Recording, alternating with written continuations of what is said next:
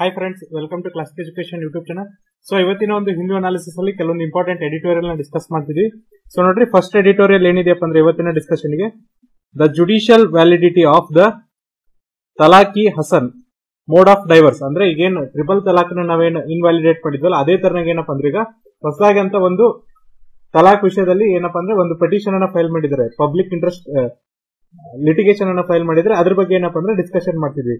So ನೋಡ್ರಿ, ಇದ್ರ ಹೆಸರು ಏನಪ್ಪಾ ಅಂದ್ರೆ ತಲಾಕಿ ಹಸನ್ ಅಂತ. ಸೊ ನಾವು ಮುಂಚೆ ಏನ್ ಮಾಡಿದ್ವಿ ಅಂದ್ರೆ ಇನ್ಸ್ಟೆಂಟ್ ತಲಾಕ್ ಇತ್ತಲ್ಲ, ಅದನ್ನ ಏನ್ ಮಾಡಿದ್ರು ಅಂದ್ರೆ ಕೋರ್ಟ್ ಜಜ್ಮೆಂಟ್ ಪ್ರಕಾರ ಇನ್ವ್ಯಾಲಿಡೇಟ್ ಮಾಡಿತ್ತು. ಸೊ ಇವಾಗ ಏನಂದ್ರೆ ತಲಾಕಿ ಹಸನ್ ಅಲ್ಲಿ ಏನಪ್ಪಾ ಅಂದ್ರೆ ಜುಡಿಷಿಯಲ್ ವ್ಯಾಲಿಡಿಟಿನ ಕೇಳ್ತಿದ್ದಾರೆ. ಸೊ ನೋಡ್ರಿ, ಇಲ್ಲೇನ್ ಹೇಳ್ತಿದ್ದಾರೆ ಅಂದ್ರೆ, ಒಂದು ಪಬ್ಲಿಕ್ ಇಂಟ್ರೆಸ್ಟ್ ಲಿಟಿಗೇಷನ್ ಇದೆಯಲ್ಲ, ಅದು ಫೈಲ್ ಆಗಿದೆ ಅಂತ ಹೇಳ್ತಿದ್ದಾರೆ. ಯಾವ್ದಕ್ಕೋಸ್ಕರಪ್ಪ ಅಂದ್ರೆ, ಈ ವ್ಯಾಲಿಡಿಟಿ ಏನಿದೆ ತಲಾಖಿ ಹಸನ್ ಅದನ್ನ ಏನ್ ಮಾಡ್ಬೇಕಂದ್ರೆ ನೀವು ಇನ್ವ್ಯಾಲಿಡಿಟಿ ಮಾಡ್ಬೇಕಂತ ಹೇಳ್ತಿದ್ದಾರೆ. ಅದೇ ತರನಾಗಿ ಅಂದ್ರೆ Islamic way of divorce divorce ಒಳಗೂ ಕೂಡ ಏನಪ್ಪಾ ಅಂದ್ರೆ ಇನ್ವ್ಯಾಲಿಡಿಟಿ ಇದೆ ಅಂತ ಅವರು ಹೇಳ್ತಿದ್ದಾರೆ. ಸೊ ನೆಕ್ಸ್ಟ್ ನೋಡ್ರಿ. ಪೆಟಿಷನ್ ಯಾರು ಫೈಲ್ ಮಾಡಿದಾರಪ್ಪ ಅಂದ್ರೆ ಬೆನಾಜೀರ್ ಹೀನಾನ್ ಅವರು ಫೈಲ್ ಮಾಡಿದ್ದಾರೆ. ಇವ್ರು ಯಾರಪ್ಪ ಅಂದ್ರೆ ಒಬ್ರು ಗಜಿಯಾ ಬೇಸ್ಡ್ ವುಮೆನ್ ಆಗಿದ್ದಾರೆ.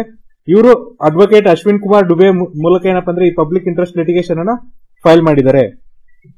ಅವ್ರ ಪ್ರಕಾರ ನೋಡ್ರಿ ಏನ್ ಹೇಳ್ತಿದಾರೆ ಅಂದ್ರೆ ತಲಾಕಿ ಹಸನ್ ಇದೆಯಲ್ಲ ಇದೇನಿದೆ ಅಂದ್ರೆ ಅನ್ಕಾನ್ಸ್ಟಿಟ್ಯೂಷನಲ್ ಇದೆ. ಅಂದ್ರೆ ಅಸಂವಿಧಾನಿಕವಾಗಿದೆ ಅಂತ ಹೇಳ್ತಿದ್ದಾರೆ. ಅದೇ ತರನಾಗಿ ಇದೇನ್ ಮಾಡುತ್ತಪ್ಪ ಅಂದ್ರೆ ಫಂಡಮೆಂಟಲ್ ರೈಟ್ಸ್ನ ವೈಲೇಟ್ ಮಾಡುತ್ತೆ ಅಂತ ಹೇಳ್ತಿದ್ದಾರೆ. ಅದರಲ್ಲೂ ಕೂಡ ಯಾವ್ಯಾವ ಆರ್ಟಿಕಲ್ನ ಇದು ವೈಲೇಟ್ ಮಾಡುತ್ತೆ ಅಂದ್ರೆ article fourteen fifteen twenty one ಮತ್ತೆ ಟ್ವೆಂಟಿ ಫೈವ್ ಆರ್ಟಿಕಲ್ಸ್ ಏನಿದೆಯಲ್ಲ ಕಾನ್ಸ್ಟಿಟ್ಯೂಷನ್ ಅದು ಇದೇನ್ ಮಾಡುತ್ತಪ್ಪ ಅಂದ್ರೆ ಅಸಂವಿಧಾನಿಕ ಮಾಡುತ್ತೆ ಅಥವಾ ಅದನ್ನ ವೈಲೇಟ್ ಮಾಡುತ್ತೆ ಅಂತ ಹೇಳ್ತಿದ್ದಾರೆ. ಉಲ್ಲಂಘನೆ ಮಾಡುತ್ತೆ ಅಂತ ನಾವೇನಪ್ಪ ಅಂದ್ರೆ ಹೇಳ್ಬೋದಾಗಿದೆ. ಸೊ ನೋಡ್ರಿ ನೆಕ್ಸ್ಟ್ ಏನ್ ಹೇಳಿದಾರಪ್ಪ ಅಂದ್ರೆ ಇವ್ರಿಗೆ ಏನಪ್ಪಾ ಅಂದ್ರೆ ಈ ತಲಾಕಿ ಹಸನ್ ಇದೆಯಲ್ಲ ಈ ಮೋಡಿಂದ ಏನಾಗಿದೆ ಅಂದ್ರೆ ಡೈವರ್ಸ್ ಆಗಿದೆ ಅಂತ ಹೇಳ್ತಿದ್ದಾರೆ. ಅದೇ ತರ ನೋಡ್ರಿ, ಅವ್ರೇನ್ ಏನ್ ಹೇಳ್ತಿದ್ದಾರೆ ಅಂದ್ರೆ section two of the Muslim personal act Muslim personal law application act nineteen thirty seven ಏನಿದೆಯಲ್ಲ, ಇದು ಏನ್ ಹೇಳಿದೆಪ್ಪ ಅಂದ್ರೆ, ಈ ಯುನಿಲ್ಯಾಟ್ರಲ್ ಡಿವೋರ್ಸ್ ಏನ್ ಪ್ರಾಕ್ಟೀಸ್ ಮಾಡ್ತಾರಲ್ಲ, ಅದನ್ನು ಕೂಡ ಏನಪ್ಪಾ ಅಂದ್ರೆ ವೈಡ್ ಅಂದ್ರೆ ಅಸಿಂಧುಗೊಳಿಸಿದ್ದಾರೆ ಅಂತ ಹೇಳ್ತಿದ್ದಾರೆ. ಅಂದ್ರೆ ಇದ್ರ ಪ್ರಕಾರ ಏನಪ್ಪಾ ಅಂದ್ರೆ ಈಗ ಅಕಾರ್ಡಿಂಗ್ ಟು ಪೆಟಿಷನರ್ ಏನ್ ಹೇಳ್ತಿದ್ದಾರೆ ಅಂದ್ರೆ, ಈ ಆಕ್ಟ್ ಏನಿದೆಯಲ್ಲ, ಅಥವಾ ಈ ತಲಾಕಿ ಹಸನ್ ಏನಿದೆಯಲ್ಲ ಅದು ಏನಪ್ಪಾ ಅಂದ್ರೆ Muslim personal law application act nineteen thirty seven ಪ್ರಕಾರ ಏನಪ್ಪಾ ಅಂದ್ರೆ ಅಸಿಂಧು ಆಗಿದೆ ಅಂತ ಅವ್ರು ಹೇಳ್ತಿದ್ದಾರೆ. ಸೊ ಅದಕ್ಕೋಸ್ಕರ ನೀವೇನಪ್ಪಾ ಅಂದ್ರೆ ಇದನ್ನ ಕನ್ಸಿಡರೇಷನ್ ಮಾಡ್ರಿ ಅಂತ ಹೇಳ್ತಿದ್ದಾರೆ. ಸೊ ನೋಡ್ರಿ ಕೋರ್ಟ್ ಅರ್ಜೆಂಟ್ ಹಿಯರಿಂಗ್ಗೆ ಅಲೋ ಮಾಡ್ಲಿಲ್ಲ ಬಟ್ ಏನಪ್ಪಾ ಅಂದ್ರೆ ಲೆಟರ್ ಏನ್ ಮಾಡಿದ್ರು ಅಂದ್ರೆ ಅದಕ್ಕೆ ಅಲೋ ಮಾಡಿದ್ರು ಅಂತ ಹೇಳ್ತಿದ್ದಾರೆ. ಈ ಹಿಯರಿಂಗ್ ಯಾವಾಗ ಬರ್ತಿದೆ ಅಂದ್ರೆ ಆಲ್ಮೋಸ್ಟ್ ನೋಡ್ರಿ ಐದು ವರ್ಷ ಆಯ್ತು. ಏನಪ್ಪಾ ಅಂದ್ರೆ, ರಿಬಲ್ ತಲಾಕ್ ನಾವು ಇನ್ವ್ಯಾಲಿಡೇಟ್ ಮಾಡಿ ಎಷ್ಟು ವರ್ಷ ಆಯ್ತು ಅಂದ್ರೆ ಐದು ವರ್ಷ ಆಯ್ತು. ಅವಾಗ ಯಾರು ಜಜ್ಮೆಂಟ್ ಅನ್ನು ಕೊಟ್ಟಿದ್ರಪ್ಪ ಅಂದ್ರೆ, ಅವಾಗಿನ chief justice J S Khehar ಆಮೇಲೆ ಪಾಲಿ ಎಫ್ ನಾರಿಮನ್ ಜಸ್ಟಿಸ್ ಕುರೇನ್ ಜೋಸೆಫ್, ಇವು ಇವರೆಲ್ಲ ಕೂಡ ಏನ್ ಮಾಡಿದ್ರಪ್ಪ ಅಂದ್ರೆ ಈ ಜಜ್ಮೆಂಟ್ ಅನ್ನ ಪ್ರೊನೌನ್ಸ್ ಮಾಡಿದ್ರು. ಸೊ ಆ ವರ್ಡಿಕ್ಟ್ ಯಾವ್ದಪ್ಪ ಅಂದ್ರೆ Shayara Bano versus Union of India so ನೋಡ್ರಿ, ಆ ಜಜ್ಮೆಂಟ್ ಯಾವ್ದಪ್ಪ ಅಂದ್ರೆ Shayara Bano versus Union of India ಅದ್ರೊಳಗೆ ಏನ್ ಮಾಡಿದ್ರು ಅಂದ್ರೆ ಇನ್ಸ್ಟೆಂಟ್ ತ್ರಿಬಲ್ ತಲಾಕ್ ಇದೆಯಲ್ಲ, ಅದನ್ನ ಏನ್ ಮಾಡಿದ್ರು ಅಂದ್ರೆ ಇನ್ವ್ಯಾಲಿಡೇಟ್ ಅಥವಾ ಅನ್ಕಾನ್ಸ್ಟಿಟ್ಯೂಷನಲ್ ಅಂತ ಹೇಳಿದ್ರು. ಅದ್ರೊಳಗೆ ಏನ್ ಜಜ್ಮೆಂಟ್ ಒಳಗೆ ಏನ್ ಹೇಳಿದ್ರಪ್ಪ ಅಂದ್ರೆ what is bad in technology is bad in law well ಅಂತ. ಅಂದ್ರೆ ಈಗ ಏನಾದ್ರೂ ತಂತ್ರಗಾರಿಕೆ ಒಳಗೆ ತಪ್ಪಿದ್ರೆ ಅದು ಏನಪ್ಪಾ ಅಂದ್ರೆ ಕಾನೂನೊಳಗೂ ಕೂಡ ತಪ್ಪಾಗುತ್ತೆ ಅಂತ ಹೇಳಿದ್ರು. ಹೀಗಾಗಿ ಏನ್ ಮಾಡಿದ್ರು ಅಂದ್ರೆ ಮುಸ್ಲಿಂ ಇದರಿಂದ ಏನಾಯ್ತಪ್ಪ ಅಂದ್ರೆ ಒಂದು ಹೊಸ ಅನಾಕ್ಟ್ಮೆಂಟ್ ಅನ್ನ ಮಾಡಿ ಲಾನ ಎಸ್ಟಾಬ್ಲಿಷ್ ಮಾಡಿದ್ರು. ಯಾವ್ದಪ್ಪ ಅಂದ್ರೆ Muslim women protection of rights on marriage act two thousand nineteen so ನೋಡ್ರಿ, ಇದರಿಂದ ಬಂದಂತ ಲಾ ಯಾವ್ದಪ್ಪ ಅಂದ್ರೆ Muslim women protection of rights on marriage act two thousand nineteen ಅಂತ ಹೇಳ್ಬೋದಾಗಿದೆ. ಹಾಗಾದ್ರೆ ನೆಕ್ಸ್ಟ್ ಆಥರ್ ಏನ್ ಎಕ್ಸ್ಪ್ಲೈನ್ ಮಾಡ್ತಾ ಹೋಗ್ತಿದ್ದಾರೆ ಅಂದ್ರೆ ಈ ತಲಾಕಿ ಹಸನ್ ಇದೆಯಲ್ಲ, ಅದು ಹೆಂಗೆ ಇನ್ಸ್ಟಂಟ್ ತ್ರಿಬಲ್ ತಲಾಕಿಂದ ಡಿಫ್ರೆನ್ಸ್ ಆಗುತ್ತೆ ಅಂತ ಹೇಳ್ತಿದ್ದಾರೆ. ಸೊ ನೋಡ್ರಿ ಇನ್ಸ್ಟಂಟ್ ತಲಾಕಲ್ಲಿ ಏನ್ ಮಾಡ್ತಾರಪ್ಪ ಅಂದ್ರೆ ಒಬ್ಬ ಮನುಷ್ಯ ಮೂರ್ ಸರಿ ಅಥವಾ ಮಲ್ಟಿಪಲ್ ಟೈಮ್ ಒಂದೇ ಸರಿ ಹೇಳ್ಬಿಡ್ತಾರೆ. ತಲಾಕ್ ತಲಾಕ್ ಅಂತ ಹೇಳ್ಬಿಟ್ರೆ ಅಲ್ಲಿ ಏನಾಗುತ್ತೆ ಅಂದ್ರೆ ಡೈವರ್ಸ್ ಆಗ್ಬಿಡುತ್ತೆ. ಅಲ್ಲೇನಪ್ಪ ಅಂದ್ರೆ ಕಪಲ್ಗೆ ಯಾವುದೇ ತರನ ಅಂತ ರೀಕನ್ಸಿಲೇಷನ್ಸ್ ಇರಲ್ಲ. ಅಂದ್ರೆ ಏನಾದ್ರೂ ಜಗಳ ಆದ್ರೆ ಅವ್ರಿಗೆ ಮತ್ತೆ ಕೂಡ್ಸುವಂತ ಜಾಗ ಇರಲ್ಲ ಅಥವಾ ಸಂಧಾನ ಮಾಡ್ಕೊಳ್ಳಕ್ಕೆ ಯಾವುದೇ ತರನ ಅಂತ ಅವಕಾಶ ಇಲ್ಲ ಅಂತ ಹೇಳ್ತಿದ್ದಾರೆ. ಅದೇ ತರನಾಗಿ ತ್ರಿಬಲ್ ತಲಾಕ್ ಏನಾಗುತ್ತೆ ಅಂದ್ರೆ ಮ್ಯಾರೇಜ್ ಇದೆಯಲ್ಲ ಇನ್ಸ್ಟೆಂಟ್ಲಿ ಏನಾಗುತ್ತಪ್ಪ ಅಂದ್ರೆ ಮುರಿದ್ ಬೀಳುತ್ತೆ ಅಥವಾ ಮದುವೆ ಆಗಿದಂತ ವೈವಾಹಿಕ ಸಂಬಂಧ ಇದೆಯಲ್ಲ, ಅದು ಮುರಿದ್ ಬೀಳುತ್ತೆ ಅಂತ ಅವರು ಹೇಳ್ತಿದ್ದಾರೆ. ನೆಕ್ಸ್ಟ್ ಏನ್ ಹೇಳ್ತಾರೆ ನೋಡ್ರಿ? ಆಮೇಲೆ ಏನ್ ಹೇಳ್ತಾರಪ್ಪ ಅಂದ್ರೆ, ಇದ್ರೊಳಗೆ ಜಡ್ಜಸ್ ಏನ್ ಹೇಳಿದ್ರು ಅಂದ್ರೆ, ಇದನ್ನ ತಲಾ ಕುರಾನ್ ಒಳಗೆ ಎಲ್ಲಿ ಕೂಡ ಮೆನ್ಷನ್ ಮಾಡಿಲ್ಲ ಅಂತ ಹೇಳ್ತಿದ್ದಾರೆ.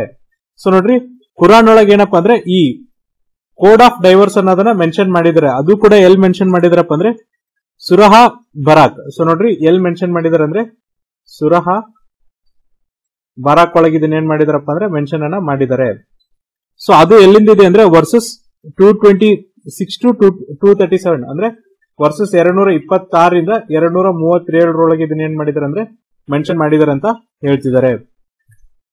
ಅದೇ ತರ ನೆಕ್ಸ್ಟ್ ಏನ್ ಹೇಳ್ತಿದ್ದಾರೆ ಅಂದ್ರೆ ಇನ್ಸ್ಟಂಟ್ ಟ್ರಿಬಲ್ ತಲಾಕ್ ಇದೆಯನ್ನ, ಅದನ್ನ ಏನ್ ಮಾಡಿದಾರೆ ಅಂದ್ರೆ ಕೆಲವೊಂದಿಷ್ಟು ಮುಸ್ಲಿಂ ಕಂಟ್ರೀಸ್ ಅಲ್ಲಿ ಬ್ಯಾನ್ ಮಾಡಿದ್ದಾರೆ. ಯಾವ ಕಂಟ್ರೀಸ್ ಅಲ್ಲಿ ಬ್ಯಾನ್ ಮಾಡಿದಾರಪ್ಪ ಅಂದ್ರೆ Egypt, Syria, Jordan, Kuwait, Iraq, Malaysia. ಒಳಗೆ ಏನಪ್ಪಾ ಅಂದ್ರೆ ಇನ್ಸ್ಟಂಟ್ ತ್ರಿಬಲ್ ತಲಾಕ್ ಇದೆಯಲ್ಲ, ಇದನ್ನ ಬ್ಯಾನ್ ಮಾಡಿದ್ದಾರೆ. ಹಾಗಾದ್ರೆ ಇದೇನಾಯ್ತಪ್ಪ ಅಂದ್ರೆ ಇನ್ಸ್ಟಂಟ್ ತ್ರಿಬಲ್ ತಲಾಕ್ ಬಗ್ಗೆ ಆಯ್ತು. ಹಾಗಾದ್ರೆ ಈಗ ಏನಪ್ಪಾ ಅಂದ್ರೆ ಈ ತಲಾಕಿ ಹಸನ್ ಬಗ್ಗೆ ಹೇಳೋದಾದ್ರೆ ಇಲ್ಲೇನ್ ಹೇಳ್ತಾರೆ ನೋಡ್ರಿ. ಇಲ್ಲೇನಪ್ಪಾ ಅಂದ್ರೆ ಈ ಮೂರ್ ಸರಿ ತಲಾಕ್ ಹೇಳೋದಿರುತ್ತಲ್ಲ, ಒಮ್ಮೆ ಹೇಳಂಗಿಲ್ಲ. ಸೊ ಅಟ್ಲೀಸ್ಟ್ ನೀವ್ ಏನ್ ಮಾಡ್ಬೇಕಂದ್ರೆ ಒಂದೊಂದ್ ತಲಾಕ್ ಮಧ್ಯೆ ಏನಪ್ಪಾ ಅಂದ್ರೆ ಒನ್ ಮಂತ್ ಗ್ಯಾಪ್ ಕೊಡ್ಬೇಕಾಗತ್ತೆ. ಸೊ ನೋಡ್ರಿ, ಒಂದೊಂದ್ ತಲಾಕ್ ಮಧ್ಯೆ ಒನ್ ಮಂತ್ ಗ್ಯಾಪ್ ಕೊಡ್ಬೇಕಾಗತ್ತೆ ಅಥವಾ one menstrual cycle one menstrual cycle gap ಇರಬೇಕಾಗುತ್ತೆ ಅಂತ ಅವರು ಹೇಳ್ತಾರೆ. ಅವಾಗ ಮಾತ್ರ ನೀವೇನ್ ಮಾಡ್ಬೋದು ಅಂದ್ರೆ ತಲಾಖನ್ನ ಪ್ರೊನೌನ್ಸ್ ಮಾಡ್ಬೋದು. ಅಂದ್ರೆ ಈಗ ತಲಾಖ್ ಹೇಳಿದ್ರೆ ನೆಕ್ಸ್ಟ್ ಒನ್ ಮಂತ್ ಅಥವಾ ನೆಕ್ಸ್ಟ್ ಮೆನಿಸ್ಟ್ರಲ್ ಸೈಕಲ್ ಆದ್ಮೇಲೆ ಏನಪ್ಪಾ ಅಂದ್ರೆ ತಲಾಖನ್ನ ಪ್ರೊನೌನ್ಸ್ ಮಾಡ್ಬೇಕಂತ ಹೇಳ್ತಿದ್ದಾರೆ. ಇದಾದ್ಮೇಲೆ ನೆಕ್ಸ್ಟ್ ಏನ್ ಹೇಳ್ತಾರೆ ನೋಡ್ರಿ? First only single revocable divorce take place through this first pronouncement ಅಂದ್ರೆ ಫಸ್ಟ್ ನೀವು ತಲಾಕ್ ಅಂತ ಹೇಳಿದ್ಮೇಲೆ ಏನಪ್ಪಾ ಅಂದ್ರೆ ರಿವರ್ಕಬಲ್ ಇರುತ್ತೆ. ಅದು ನೀವೇನಪ್ಪ ಅಂದ್ರೆ ನಿಮ್ಮ ವೈವಾಹಿಕ ಸಂಬಂಧ ಏನಿರುತ್ತೆ ಅದು ಮುರಿದು ಬೀಳಲ್ಲ ಮತ್ತೆ ನೀವೇನಪ್ಪ ಅಂದ್ರೆ ಕೂಡ್ಬೋದು ಅಂತ ಹೇಳ್ತಿದ್ದಾರೆ. ನೆಕ್ಸ್ಟ್ ಏನ್ ಹೇಳ್ತಾರಪ್ಪ ಅಂದ್ರೆ ಇದ್ರೊಳಗೆ ಏನ್ ಮಾಡ್ಬೇಕಪ್ಪ ಅಂದ್ರೆ ಗಂಡ ಮತ್ತೆ ಹೆಂಡತಿ ಇಬ್ರು ಕೂಡ ಏನಪ್ಪ ಅಂದ್ರೆ ಕೂಡಿ ಬಾಳ್ಬೇಕಾಗತ್ತೆ. ಪ್ರೊನೌನ್ಸ್ಮೆಂಟ್ ಆದ್ಮೇಲೂ ಕೂಡ ಏನಪ್ಪ ಅಂದ್ರೆ, ಆಮೇಲೆ ಏನಂದ್ರೆ ಅವ್ರಿಗೆ ರ್ಯಾಪೋಚ್ಮೆಂಟ್ ಅಂದ್ರೆ ಮತ್ತೆ ಸಂಧಾನ ನಡೆಸಿ ರಾಜಿ ಆಗುವಂತ ಅವಕಾಶ ಕೂಡ ಇರುತ್ತೆ ಅಂತ ಹೇಳ್ತಿದ್ದಾರೆ. ಇದಾದ್ಮೇಲೆ ನೋಡ್ರಿ ನೆಕ್ಸ್ಟ್ ಏನ್ ಹೇಳ್ತಿದ್ದಾರೆ ಅಂದ್ರೆ, ಇದಾದ್ಮೇಲೆ ನೆಕ್ಸ್ಟ್ ಏನ್ ಹೇಳ್ತಾರಪ್ಪ ಅಂದ್ರೆ ಈಗ ಕಪಲ್ ಏನಾದ್ರೂ ಈ ಪೀರಿಯಡ್ ಅಲ್ಲಿ ಕೂಡ ಏನಪ್ಪಾ ಅಂದ್ರೆ ಯಾವ್ದೇ ತರ ಸಂಧಾನಕ್ಕೆ ಬರಲಿಲ್ಲ, ರಾಜಿ ಬರಲಿಲ್ಲ, ಇದು ಮಾಡ್ಕೊಳ್ಳಿಲ್ಲ ಅಂದ್ರೆ ಅವ್ರವಾಗ ಏನ್ ಮಾಡ್ತಾರೆ ಅಂದ್ರೆ ನೆಕ್ಸ್ಟ್ ಮಂತ್ ಎಂಡಿಗೆ ಅಥವಾ ನೆಕ್ಸ್ಟ್ ಮಂತ್ ಅಲ್ಲಿ ಏನಂದ್ರೆ ಇನ್ನೊಂದು ತಲಾಂಕನ್ನ ಪ್ರೊನೌನ್ಸ್ ಮಾಡ್ತಾರೆ. ಸೊ ನೋಡ್ರಿ, ಇನ್ನೊಂದು ತಲಾಖನ್ನು ಕೂಡ ಏನಪ್ಪಾ ಅಂದ್ರೆ ಪ್ರೊನೌನ್ಸ್ ಮಾಡ್ತಾರೆ. ಅವಾಗ ಏನಾಗುತ್ತೆ ಅಂದ್ರೆ ಸೆಕೆಂಡ್ ತಲಾಖ್ ಬರುತ್ತೆ, ಇಲ್ಲಿ ಕೂಡ ಏನಪ್ಪಾ ಅಂದ್ರೆ ಸೇಮ್ ಪೀರಿಯಡ್ ಇರುತ್ತೆ. ಸೊ ಇಲ್ಲಿ ಕೂಡ ಏನಪ್ಪಾ ಅಂದ್ರೆ ಡಿವೋರ್ಸ್ ಇರುತ್ತಲ್ಲ, ಅದನ್ನ ರಿವೋಕೇಬಲ್ ಮಾಡ್ಕೋಬಹುದಾಗಿದೆ ಅಂದ್ರೆ ಸಂಧಾನದ ಮೂಲಕ ಮತ್ತೆ ಏನಪ್ಪಾ ಅಂದ್ರೆ ವೈವಾಹಿಕ ಸಂಬಂಧ ಕೂಡಿಸಬಹುದಾಗಿದೆ ಆ ಡಿವೋರ್ಸ್ ವಿಚ್ಛೇದನ ಇದೆಯಲ್ಲ, ಅದನ್ನು ಮುರಿಯುವಂತ ಅವಕಾಶ ಇರುತ್ತೆ ಅಂತ ಹೇಳ್ತಿದ್ದಾರೆ. ಅದಾದ್ಮೇಲೆ ಕೂಡ ನಿಮ್ಗೆ ಏನಂದ್ರೆ ಒಂದ್ ತಿಂಗಳ ಟೈಮ್ ಇರುತ್ತೆ. ಇಲ್ಲಿ ಕೂಡ ಏನಪ್ಪಾ ಅಂದ್ರೆ ಕಪಲ್ಸ್ ಮತ್ತೆ ಕೂಡಿ ಬಾಳ್ಬೇಕಾಗತ್ತೆ. ಸೊ ಅಲ್ಲಿ ಕೂಡ ನಿಮ್ಗೆ ಏನಾದ್ರು, ಆ, ವ- ವಿಚ್ಛೇದನ ತಗೊಳ್ಳೋ ನಿರ್ಧಾರ ನೀವು ಕೈ ಬಿಡ್ಲಿಲ್ಲ ಅಂದ್ರೆ ನೆಕ್ಸ್ಟ್ ಟೈಮ್ ಏನ್ ಮಾಡ್ತಾರೆ ಅಂದ್ರೆ ಮೂರನೇ ಪ್ರೊನೌನ್ಸ್ಮೆಂಟ್ ಅನ್ನ ಮಾಡ್ತಾರೆ. ಸೊ ನೋಡ್ರಿ ಮೂರನೇ ಪ್ರೊನೌನ್ಸ್ಮೆಂಟ್ ಮಾಡಿದಾಗ ಏನಾಗುತ್ತಪ್ಪ ಅಂದ್ರೆ ಅದು ಇರ್ರಿವೋಕಬಲ್ ಇರುತ್ತೆ. ಅವಾಗ ಏನಾಗುತ್ತಪ್ಪ ಅಂದ್ರೆ ವಿಚ್ಛೇದನ ಆಗ್ಲೇ, ಆಗೇ ಬಿಡುತ್ತೆ. ಮತ್ತೆ ಯಾವುದೇ ತರನಾಗಿ ಇದನ್ನ ತಡೆಯಕ್ಕಾಗಲ್ಲ ಅಂತ ಅವರು ಹೇಳ್ತಿದ್ದಾರೆ. ಸೊ ನೋಡ್ರಿ ಇಲ್ಲಿ ಫಸ್ಟ್ ಮೂರು ಅವಕಾಶ ಇರುತ್ತೆ. ಫಸ್ಟ್ ಮಂತ್ ಅಲ್ಲಿ ನೀವು ಪ್ರೊನೌನ್ಸ್ ಮಾಡಿದಾಗ ಅಲ್ಲಿ ಕೂಡ ನಿಮ್ಗೆ ಏನಪ್ಪಾ ಅಂದ್ರೆ ಮತ್ತೆ ವಿಚ್ಛೇದನ ಮುರಿದುಕೊಳ್ಳುವಂತ ಅವಕಾಶ ಇರುತ್ತೆ. ಅಲ್ಲೇನಂದ್ರೆ ನೀವು ಅಟ್ಲೀಸ್ಟ್ ಒಂದ್ ತಿಂಗಳು ಕೂಡಿರ್ಬೇಕು. ಇದಾದ್ಮೇಲೆ ನಿಮ್ಗೆ ರಾಜಿ ಆಗ್ಲಿಲ್ಲ ಸೆಕೆಂಡ್ ಟೈಮ್ ಇದು ಆದಾಗ ಕೂಡ ಏನಪ್ಪಾ ಅಂದ್ರೆ ಇಬ್ರು ಕಪಲ್ಸ್ ಏನಿರ್ತಾರಲ್ಲ, ಅವ್ರು ಕೂಡಿ ಕೂಡಿ ಸಮನ್ವಯ ಬಾಳ್ವೆ ನಡೆಸಿ ಮತ್ತೆ ಏನಾದ್ರೂ ಅವ್ರು ರಾಜಿ ಮಾಡ್ಕೊಂಡ್ರೆ ಇಲ್ಲಿ ಕೂಡ ಏನಪ್ಪಾ ಅಂದ್ರೆ ವಿಚ್ಛೇದನ ಮುರಿ ಬೀಳುವ ಅವಕಾಶ ಇರುತ್ತೆ. ಮೂರನೇ ಟೈಮ್ ಅನ್ನ ಪ್ರೊನೌನ್ಸ್ ಮಾಡಿದಾಗ ಯಾವುದೇ ತರನ ಅಂತ ವಿಚ್ಛೇದನ ಮುರಿದು ಬೀಳುವಂತ ಅವಕಾಶ ಇರಲ್ಲ. ವಿಚ್ಛೇದನ ಕೊಡ್ಲೇಬೇಕಾಗುತ್ತೆ ಅಂತ ಅವರು ಹೇಳ್ತಿದ್ದಾರೆ. ಅದೇ ತರ ನೋಡ್ರಿ. ಯಾವುದೇ ತರನಾಗಿ ನೀವು ಡೈವರ್ಸ್ ಕೊಡಂಗಿಲ್ಲ. ಯಾವಾಗ ಕೊಡಂಗಿಲ್ಲಪ್ಪ ಅಂದ್ರೆ, ಈಗ ಹೆಣ್ಮಕ್ಳು ಏನಾದ್ರೂ ಮೆನಿಸ್ಟ್ರಲ್ ಸೈಕಲ್ ಅಲ್ಲಿ ಇದ್ರೆ, ಅಥವಾ ಅವ್ರೇನಾದ್ರೂ ಪ್ರೆಗ್ನೆನ್ಸಿ ಇದ್ರೆ, ಅಂತ ಟೈಮಲ್ಲಿ ಏನಪ್ಪ ಅಂದ್ರೆ ಡೈವರ್ಸ್ ಕೊಡಂಗಿಲ್ಲ ಅಂತ ಈ ಆಕ್ಟ್ ಅಲ್ಲಿ ಹೇಳ್ತಿದ್ದಾರೆ. ಈ ತಲಾಕಿ ಹಸನ್ ಒಳಗೆ ಹೇಳ್ತಿದ್ದಾರೆ. ಇದಾದ್ಮೇಲೆ ನೋಡ್ರಿ. ಇದು ಪ್ರೆಗ್ನೆನ್ಸಿ ಮುಗಿಯೋವರೆಗೆ ಏನಿರುತ್ತಪ್ಪ ಅಂದ್ರೆ ಅಬೇಯನ್ಸ್ ಇರುತ್ತೆ. ಅಂದ್ರೆ ಅದನ್ನ ನೀವು ಪ್ರೊನೌನ್ಸ್ ಮಾಡಕ್ಕಾಗಲ್ಲ ಅಂತ ಹೇಳ್ತಿದ್ದಾರೆ. ಸೊ ಇಲ್ಲಿ ಮಿಸ್ ಹೀನಾಥ್ ಕೇಸ್ ಒಳಗೆ ಏನಾಗಿದೆಪ್ಪ ಅಂದ್ರೆ ಅವಳು ಡೈವರ್ಸ್ ಯಾವಾಗ ಕೊಟ್ಟಿದ್ದಾರೆ ಅಂದ್ರೆ, ಅವಳು ಯಾವಾಗ ಮೆನಿಸ್ಟ್ರಲ್ ಸೈಕಲ್ ಇದ್ಲಲ್ಲ ಆ ಪೀರಿಯಡ್ ಅಲ್ಲಿ ಏನಾಗಿದೆ ಅಂದ್ರೆ ಪೀರಿಯಡ್ಸ್ ಟೈಮ್ ಇದ್ದಾಗ ಅವ್ರಿಗೆ ಏನಂದ್ರೆ ಡೈವರ್ಸ್ ಕೊಟ್ಟಿದ್ದಾರೆ. ಹಾಗಾಗಿ ಅವ್ರೇನ್ ಹೇಳ್ತಿದ್ದಾರೆ ಅಂದ್ರೆ, ಇದು ಇನ್ವ್ಯಾಲಿಡೇಟ್ ಆಗುತ್ತೆ ಅಂತ ಹೇಳ್ತಿದ್ದಾರೆ. ಸೊ ನೋಡ್ರಿ ತ್ರಿಬಲ್ ತಲಾಕ್ ಪ್ರಕಾರ ಏನಪ್ಪಾ ಅಂದ್ರೆ ತ್ರಿಬಲ್ ತಲಾಕ್ ಅಲ್ಲಿ ಏನಂದ್ರೆ ಕುರಾನ್ ಅಲ್ಲಿ ಸೊ ಕುರಾನ್ ಅಲ್ಲಿ ಏನ್ ಹೇಳಿದ್ರು ಅಂದ್ರೆ ಈ ತಲಾಕಿ ಹಸನ್ ಬಗ್ಗೆ ಕ್ಲಿಯರ್ ಆಗಿ ಹೇಳಿದ್ದಾರೆ. ಏನಪ್ಪಾ ಅಂದ್ರೆ, ಅದು ಕೂಡ ನೋಡ್ರಿ ವರ್ಸಸ್ ಯಾವ್ದ್ರೊಳಗೆ ಹೇಳಿದಾರೆ ಅಂದ್ರೆ ಟೂ ಟ್ವೆಂಟಿ ನೈನ್ ಒಳಗೆ ಹೇಳಿದ್ದಾರೆ ಏನಂತಂದ್ರೆ ಡೈವರ್ಸ್ ಅನ್ನ ನೀವು ಪ್ರೊನೌನ್ಸ್ ಮಾಡಬಹುದು ಒಂದ್ ಬಿಟ್ಟು ಎರಡ್ ಸರಿ ಪ್ರೊನೌನ್ಸ್ ಮಾಡಬಹುದು ಅದಾದ್ಮೇಲೆ ನೀವೇನಪ್ಪ ಅಂದ್ರೆ ರೀಟೆನ್ಷನ್ ಆಗ್ಬೋದು ಅಥವಾ ಕೈಂಡ್ಲಿ ರಿಲೀಸ್ ಮಾಡಬಹುದು ಅಂದ್ರೆ ಒಬ್ರಿಗೊಬ್ರು ಮತ್ತೆ ನೀವು ಏನಪ್ಪ ಅಂದ್ರೆ, ಸಂಬಂಧವನ್ನ ಜೋಡಿಸ್ಕೋಬಹುದು ಅಂತ ಹೇಳಿದ್ದಾರೆ ಬಟ್ ಮೂರನೇ ಟೈಮ್ ಮೆನ್ಷನ್ ಆದಾಗ ಏನಪ್ಪ ಅಂದ್ರೆ, ಅದು ಕಂಪ್ಲೀಟ್ಲಿ ಇನ್ವ್ಯಾಲಿಡೇಟ್ ಆಗುತ್ತೆ. ಅಂದ್ರೆ ಕಂಪ್ಲೀಟ್ಲಿ ಏನಪ್ಪ ಅಂದ್ರೆ ನಿಮ್ಗೆ ವಿಚ್ಛೇದನ ಕೊಡ್ಲೇಬೇಕಾಗುತ್ತೆ ಅಂತ ಅವರು ಹೇಳ್ತಿದ್ದಾರೆ. ನೆಕ್ಸ್ಟ್ ಇದಾದ್ಮೇಲೆ ನೋಡ್ರಿ ನೆಕ್ಸ್ಟ್ ಏನ್ ಚರ್ಚೆ ಮಾಡ್ತಿದ್ರು ಅಂದ್ರೆ are there other option of divorce apart from the triple talaq e hasan ಅಂದ್ರೆ ಈ ಈ ತ್ರಿಬಲ್ ತಲಾಖಿ ಹೋಯ್ತು. ತಲಾಖಿ ಹಸನ್ ಬಿಟ್ಟು ಬೇರೆ ತರನಾದಂತ ಡೈವರ್ಸ್ ಕೊಡುವಂತ ಆಪ್ಷನ್ ಏನಾದ್ರೂ ಇದೆಯಾ ಅಂದ್ರೆ ಅದಕ್ಕೆ ಏನ್ ಹೇಳ್ತಿದ್ದಾರೆ ನೋಡ್ರಿ. Third option of divorce besides talaq e hasan ಅಂತ ಹೇಳ್ತಿದ್ದಾರೆ. ಸೊ ಇಲ್ಲೇನ್ ಹೇಳ್ತಾರೆ ನೋಡ್ರಿ. ಇದಾದ್ಮೇಲೆ ಏನಪ್ಪಾ ಅಂದ್ರೆ ತಲಾಖಿ ತ್ರಿಬಲ್ ತಲಾಕ್ ಇತ್ತು. ಅದನ್ನ ಈಗ ನಾವೇನ್ ಮಾಡಿದ್ವಿ ಅಂದ್ರೆ ಇನ್ವ್ಯಾಲಿಡೇಟ್ ಮಾಡಿದೀವಿ ಅಂತ ಹೇಳ್ತಿದ್ದಾರೆ. ಇದಾದ್ಮೇಲೆ ನೋಡ್ರಿ ನೆಕ್ಸ್ಟ್ ಏನ್ ಹೇಳ್ತಿದಾರೆ ಅಂದ್ರೆ ಸೊ ಇದಾದ್ಮೇಲೆ ಏನಪ್ಪಾ ಅಂದ್ರೆ ಇನ್ಸ್ಟಂಟ್ ತಲಾಕ್ ಕೊಡಕ್ಕಾಗಲ್ಲ ಅದನ್ನ ಇನ್ವ್ಯಾಲಿಡೇಟ್ ಮಾಡಿದ್ವಿ. ಹಾಗಾಗಿ ನಾವ್ ಏನ್ ಮಾಡ್ಬೋದು ಅಂದ್ರೆ ತಲಾಕಿ ಹಸನ್ ಕೊಡ್ಬೋದು. ಇದ್ರೊಳಗೆ ಏನ್ ಮಾಡ್ತಾರಪ್ಪ ಅಂದ್ರೆ ಒಂದ್ ಸರಿ ಪ್ರೊನೌನ್ಸ್ಮೆಂಟ್ ಮಾಡ್ತಾರೆ. ಅಂದ್ರೆ ತಲಾಕ್ ಅಂತ ಹೇಳ್ತಾರೆ. ಅದಾದ್ಮೇಲೆ ಮಹಿಳೆಯರಿಗೆ ಏನ್ ಕೊಡ್ತಾರೆ ಅಂದ್ರೆ ಟೈಮ್ ಕೊಡ್ತಾರೆ. ಇದತ್ ಇದತ್ ಅಥವಾ ವೇಟಿಂಗ್ ಪೀರಿಯಡ್ ಅಂತ ಮೂರ್ ತಿಂಗಳು ಇರುತ್ತೆ. ಅದ್ರೊಳಗೆ ಏನಪ್ಪಾ ಅಂದ್ರೆ ಅವರು ಡೈವರ್ಸ್ ಕೊಡೋದು ಮತ್ತೆ ಸಂಧಾನ ಮಾಡಿದ ಟೈಮ್ ಇರುತ್ತೆ. ಅಲ್ಲಿ ಕೂಡ ಏನಾದ್ರೂ ಸಂಧಾನ ಅಥವಾ ರಾಜಿ ಆಗ್ಲಿಲ್ಲ ಅಂದ್ರೆ ಅವ್ರಿಗೆ ಏನ್ ಮಾಡ್ತಾರೆ ಅಂದ್ರೆ ಇಂಡಿಪೆಂಡೆಂಟ್ ಮತ್ತೆ ಮ್ಯಾರೇಜ್ ಅನ್ನ ಬ್ರೋಕ್ ಮಾಡ್ತಾರೆ ಅಂತ ಹೇಳ್ತಿದ್ದಾರೆ. ಸೊ ನೋಡ್ರಿ, ಇದಾದ್ಮೇಲೆ ಏನ್ ಹೇಳ್ತಾರೆ ಅಂದ್ರೆ ಈ ಇನ್ಸ್ಟಂಟ್ ತಲಾಕ್ ಇದೆಯಲ್ಲ, ಅದ್ರ ಬದಲು ಏನಪ್ಪಾ ಅಂದ್ರೆ ತಲಾಕಿ ಹಸನ್ ಮತ್ತೆ ಈ ತಲಾಕಿ ಹಸನ್ ಇದಾವಲ್ಲ ಅವೇನಪ್ಪ ಅಂದ್ರೆ ಮೆಜಾರಿಟಿ ಮುಸ್ಲಿಂ ಕಂಟ್ರಿಯಲ್ಲಿ ಲೀಗಲ್ ವ್ಯಾಲಿಡಿಟಿಯನ್ನ ಪಡೆದಿದ್ದಾವೆ ಅಂತ ಹೇಳ್ತಿದ್ದಾರೆ. ಏ, ಯಾವ್ಯಾವ ಮುಸ್ಲಿಂ ದೇಶಗಳಿದೆಯಲ್ಲ ಅಲ್ಲೇನಪ್ಪ ಅಂದ್ರೆ, ಈ ತಲಾಕಿ ಹಸನ್ ಮತ್ತೆ ತಲಾಕಿ ಹಸ್, ಹಸನ್ ಮತ್ತೆ ಹಸನ್, ಇಲ್ಲಿ ಏನಪ್ಪಾ ಅಂದ್ರೆ ಲೀಗಲ್ ವ್ಯಾಲಿಡಿಟಿನ ಕೊಟ್ಟಿದ್ದಾರೆ ಅಂತ ಹೇಳ್ತಿದ್ದಾರೆ. ಇದ್ರ ಜೊತೆಗೆ ಇನ್ನೂ ಒಂದು ಇಂಟ್ರೆಸ್ಟಿಂಗ್ ಫ್ಯಾಕ್ಟರ್ ಏನಪ್ಪಾ ಅಂದ್ರೆ, ಬರೀ ಗಂಡ್ಮಕ್ಳು ಮಾತ್ರ ತಲಾಕ್ ಕೊಡಂಗಿಲ್ಲ, ಹೆಣ್ಮಕ್ಳು ಕೂಡ ಏನಪ್ಪಾ ಅಂದ್ರೆ ಮ್ಯಾರೇಜ್ ಅನ್ನ ಬ್ರೋಕ್ ಮಾಡಬಹುದು ಅಂತ ಹೇಳ್ತಿದ್ದಾರೆ. Woman to have the right to end unsuccessful marriage through the khula so ಹೆಣ್ಮಕ್ಳು ಏನಾದ್ರೂ ಡೈವರ್ಸ್ ಕೊಡ್ಬೇಕಂದ್ರೆ ಅವ್ರ ಏನಂದ್ರೆ ಕುಲಾ ಮೂಲಕ ಕೊಡಬಹುದು ಅಂತ ಹೇಳ್ತಿದ್ದಾರೆ. ಇಲ್ಲಿ ಮಹಿಳೆ ಏನ್ ಮಾಡ್ಬೇಕಪ್ಪ ಅಂದ್ರೆ ರಿಟರ್ನ್ಸ್ ಅಲ್ಲಿ ಅವ್ರಿಗೆ ಏನಾದ್ರೂ ಕೊಡ್ಬೇಕಾಗತ್ತೆ ಅಂತ ಹೇಳ್ತಿದ್ದಾರೆ. ಸೊ ಇದಿಷ್ಟು ಏನಪ್ಪಾ ಅಂದ್ರೆ ನಿಮ್ಗೆ ಈ ಫಲಾಕಿ ಹಸನ್ ಬಗ್ಗೆ ಇರುವಂತ ಮಾಹಿತಿ, ಇದ್ರ ಜೊತೆಗೆ ಏನ್ ಹೇಳ್ತಿದ್ದಾರೆ ನೋಡ್ರಿ ಡಿಬೇಟ್ ಕೂಡ ಇದೆ ಇಸ್ಲಾಮಿಕ್ ಕಾಲರ್ಸ್ ಅಲ್ಲಿ ಏನಪ್ಪಾ ಅಂದ್ರೆ ವೇಸ್ ಆಫ್ ತುಲಾಕ್ ಯಾವ ತರ ಕುಲಾ ಬಗ್ಗೆ ನೀವು ಡೈವರ್ಸ್ ಅನ್ನ ಕೊಡ್ಬೇಕಂತ ಹೇಳ್ತಿದ್ದಾರೆ. ಸೊ ಇಲ್ಲಿ ಮೇನ್ ಏನಪ್ಪಾ ಅಂದ್ರೆ ನಿಮ್ಮ ಎಕ್ಸಾಮಿನೇಷನ್ಗೆ ತ್ರಿಬಲ್ ತಲಾಕ್ ಪ್ಲಾನ್ ಮಾಡಿದ್ರೆ ಈಗ ತಲಾಕಿ ಹಸನ್ ಮೇಲೆ ಕ್ವಶನ್ಸ್ ಕೇಳುವಂತ ಚಾನ್ಸ್ ಇರುತ್ತೆ. ಹಾಗಾಗಿ ತಲಾಕಿ ಹಸನ್ ಅಂದ್ರೆ ಏನು? ಅದು ಯಾವ ಪೀರಿಯಡ್ ಅಲ್ಲಿ ಇರುತ್ತೆ, ಯಾವ ತರ ಅದನ್ನ ಕ್ಯಾರಿ ಓವರ್ ಮಾಡ್ತಾರೆ ಅನ್ನೋದು ನಿಮ್ಗೆ ತುಂಬಾ ಇಂಪಾರ್ಟೆಂಟ್ ಆಗುತ್ತೆ. ಅದೇ ತರ ನಮ್ಮ ನೆಕ್ಸ್ಟ್ ಆರ್ಟಿಕಲ್ ಯಾವ್ದ್ರ ಮೇಲೆ ಇದೆ ನೋಡ್ರಿ. It's time to it's time India plans hub of airport flight path ಅಂದ್ರೆ ಇಲ್ಲಿ ಆತರ ಏನ್ ಹೇಳ್ತಿದ್ದಾರೆ ಅಂದ್ರೆ ಇಂಡಿಯಾನ ಒಂದೇನ್ ಟೈಮ್ ಇದೆಯಲ್ಲ ಈ ಟೈಮ್ ಅಲ್ಲಿ? ಒಂದು ಏರ್ಪೋರ್ಟ್ ಹಬ್ ಆಗಿ ಮಾಡಬಹುದಾಗಿದೆ ಅಂತ ಅವರು ಹೇಳ್ತಿದ್ದಾರೆ. ಸೊ ನೋಡ್ರಿ ನೆಕ್ಸ್ಟ್ ಏನ್ ಹೇಳ್ತಿದ್ದಾರೆ ಅಂದ್ರೆ, ಇಲ್ಲಿ ನಾವೇನ್ ಅನ್ಕೊಂಡಿದ್ವಲ್ಲ, ಕೊರೋನಾ ವೈರಸ್ ಟೈಮ್ ಅಲ್ಲಿ ಏನಪ್ಪಾ ಅಂದ್ರೆ ಏವಿಯೇಷನ್ ಪೀರಿಯಡ್ ಅಥವಾ ಏವಿಯೇಷನ್ ಇಂಡಸ್ಟ್ರಿ ಏನ್ ಗ್ರೋತ್ ಆಗುತ್ತೆ ಅನ್ಕೊಂಡಿದ್ವಲ್ಲ ಅದಕ್ಕಿಂತ ಜಾಸ್ತಿನೇ ಗ್ರೋತ್ ಆಗಿದೆ ಅಂತ ಅವರು ಹೇಳ್ತಿದ್ದಾರೆ. ಸೊ ನೋಡ್ರಿ, ಏನ್ ಹೇಳ್ತಿದ್ದಾರೆ ಅಂದ್ರೆ transforming one of the India's metro gateway airports into hub of airport results consideration as the aviation market plus novel corona virus pandemic behind it passenger demand surges ಅಂದ್ರೆ ನಾವು ಒಂದು ಏನ್ ಮೆಟ್ರೋ ಮೆಟ್ರೋದಲ್ಲಿರುವಂತ ಏರ್ಪೋರ್ಟ್ ಏನಪ್ಪಾ ಅಂದ್ರೆ ಏರ್ಪೋರ್ಟ್ ಹಬ್ ಅನ್ನು ಮಾಡೋದ್ರಿಂದ ಏನಾಗಿದೆ ಅಂದ್ರೆ ಪ್ಯಾಂಡಮಿಕ್ ಲೆವೆಲ್ಗಿಂತ ಏನ್ ಡಿಮ್ಯಾಂಡ್ ಇತ್ತಲ್ಲ ಅದರಿಂದ ಮಾಡ್ತಿದೀವಿ ಅಂತ ಹೇಳ್ತಿದ್ದಾರೆ. ಇದಾದ್ಮೇಲೆ ನೋಡ್ರಿ ನೆಕ್ಸ್ಟ್ ಏನ್ ಹೇಳ್ತಿದ್ದಾರೆ ಅಂದ್ರೆ ಈಗ ಇಂಡಿಯಾ ಏನಾಗಿದೆಪ್ಪ ಅಂದ್ರೆ third largest domestic aviation market ಆಗಿದೆ ಅಂತ ಹೇಳ್ತಿದ್ರೆ ವರ್ಲ್ಡ್ ಅಲ್ಲಿ. ಇದಾದ್ಮೇಲೆ ಏನಂದ್ರೆ ಇದು ಯುನೈಟೆಡ್ ಸ್ಟೇಟ್ಸ್ ಮತ್ತೆ ಚೈನಾ ಆದ್ಮೇಲೆ ನೆಕ್ಸ್ಟ್ ನಮ್ದೇ ಇರೋದು. ಈಗ ಡೊಮೆಸ್ಟಿಕಲ್ ಗ್ರೋತ್ ನೋಡಿದ್ರೆ ಯುನೈಟೆಡ್ ಸ್ಟೇಟ್ಸ್ ಅಲ್ಲಿ ಜಾಸ್ತಿ ಇದೆ, ಅದಾದ್ಮೇಲೆ ಚೈನಾ ಇದೆ. ನೆಕ್ಸ್ಟ್ ಯಾವ್ದಿದೆಯಪ್ಪ ಅಂದ್ರೆ ಇಂಡಿಯಾ ಇದೆ ಅಂತ ಹೇಳ್ಬೋದು. ಆಮೇಲೆ ನೋಡ್ರಿ ಕನ್ಸ್ಯೂಮರ್ ಕಾನ್ಫಿಡೆನ್ಸ್ ಇದೆಯಲ್ಲ, ಇದರಿಂದ ಏನಾಗಿದೆಪ್ಪ ಅಂದ್ರೆ ಏರ್ ಇಂಡಸ್ಟ್ರಿ ರಿಕವರ್ ಆಗಿದೆ ಅಂತ ಹೇಳ್ತಿದ್ದಾರೆ. ಇದ್ರ ಜೊತೆಗೆ ನೆಕ್ಸ್ಟ್ ಏನ್ ಹೇಳ್ತಿದ್ದಾರೆ ಅಂದ್ರೆ ಟ್ರಾಫಿಕ್ ಕೂಡ ಜಾಸ್ತಿ ಆಗಿದೆ ಬಿಫೋರ್ ಪ್ಯಾಂಡಮಿಕ್ ಗಿಂತ ಜಾಸ್ತಿ ಆಗಿದೆ ಅಂತ ಅವರು ಹೇಳ್ತಿದ್ದಾರೆ. ನೆಕ್ಸ್ಟ್ ನೋಡ್ರಿ, ನೀ ನೆಕ್ಸ್ಟ್ ಪ್ಯಾರಾದಲ್ಲಿ ಏನ್ ಹೇಳ್ತಾರೆ ಇಂಡಿಯಾ ಏರ್ಪೋರ್ಟ್ ಏರ್ಪೋರ್ಟ್ಸ್ ಏನ್ ಪ್ಲಾನ್ ಮಾಡಿದೆ ಅಂದ್ರೆ ಈಗ ನೈಂಟಿ ತೌಸಂಡ್ ಕ್ರೋರ್ ಇನ್ವೆಸ್ಟ್ಮೆಂಟ್ ಮಾಡಿ ಕೆಪಾಸಿಟಿ ಅನೌನ್ಸ್ಮೆಂಟ್ ಮಾಡಕ್ಕೆ ಅವರು ಪ್ಲಾನ್ ಅನ್ನ ಮಾಡ್ತಿದ್ದಾರೆ ನೆಕ್ಸ್ಟ್ ಫೋರ್ ಇಯರ್ಸ್ ಅಲ್ಲಿ ಅಂತ ಹೇಳ್ತಿದ್ದಾರೆ. ಯಾಕಂದ್ರೆ ಟ್ರಾಫಿಕ್ ಜಾಸ್ತಿ ಆಗಿರೋದ್ರಿಂದ ನಿಮ್ಗೆ ಟ್ರಾಫಿಕ್ ಕಂಟ್ರೋಲ್ ಮಾಡಕ್ ಆಗ್ತಿಲ್ಲ. ಅದಕ್ಕೋಸ್ಕರ ಏನಪ್ಪಾ ಅಂದ್ರೆ ಕೆಪಾಸಿಟಿ ಅನೌನ್ಸ್ ಮಾಡ್ಬೇಕಂತ ಹೇಳ್ತಿದ್ದಾರೆ. ಸೊ ಇದನ್ನೆಲ್ಲ ಮಾಡಕ್ ನಾವೇನ್ ಮಾಡ್ಬೇಕಂದ್ರೆ ಹಬ್ ಏರ್ಪೋರ್ಟ್ ಅನ್ನ ತೆಗಿಬೇಕಂತ ಆಥರ್ ಹೇಳ್ತಿದ್ದಾರೆ. ಹಾಗಾದ್ರೆ ವಾಟ್ ಎಕ್ಸಾಕ್ಟ್ಲಿ ಇದೆ ಹಬ್ ಏರ್ಪೋರ್ಟ್ ಅಂತ? ಈಗ ನಾನು ಹಬ್ ಏರ್ಪೋರ್ಟ್ ಅಂದ್ರೆ ಏನು ಅಂತ ತಿಳ್ಕೊಬೇಕು.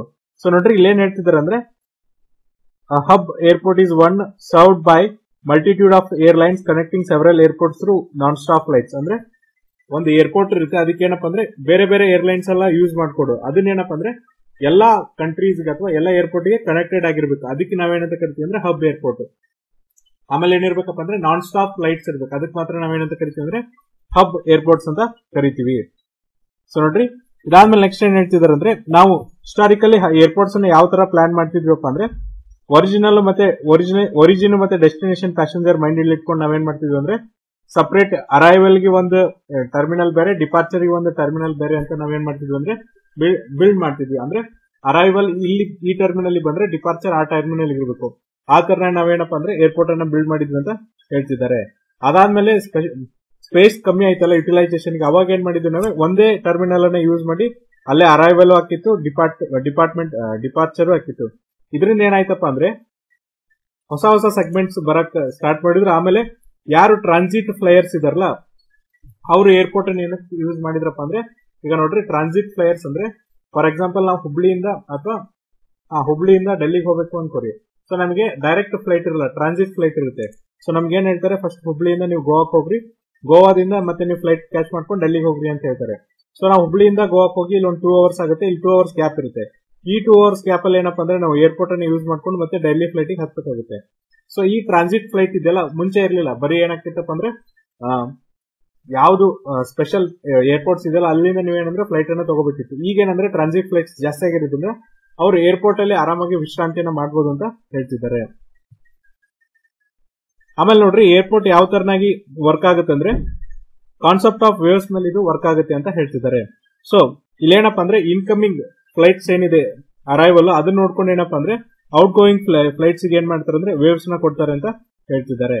ನೆಕ್ಸ್ಟ್ ನೋಡ್ರಿ ಹಬ್ಬಿಂಗ್ ಒಳಗೆ ಏನಾಗುತ್ತಪ್ಪ ಅಂದ್ರೆ maximum combination of flight pairs ಆಗುತ್ತೆ. ಜೊತೆಗೆ ಏನಪ್ಪಾ ಅಂದ್ರೆ, ಇನ್ನು ಕೂಡ ಜಾಸ್ತಿ ಡೆಸ್ಟಿನೇಷನ್ ನಾವೇನ್ ಮಾಡ್ಬೋದು ಅಂದ್ರೆ ರೀಚ್ ಮಾಡ್ಬೋದು ಅಂತ ಹೇಳ್ತಿದ್ದಾರೆ.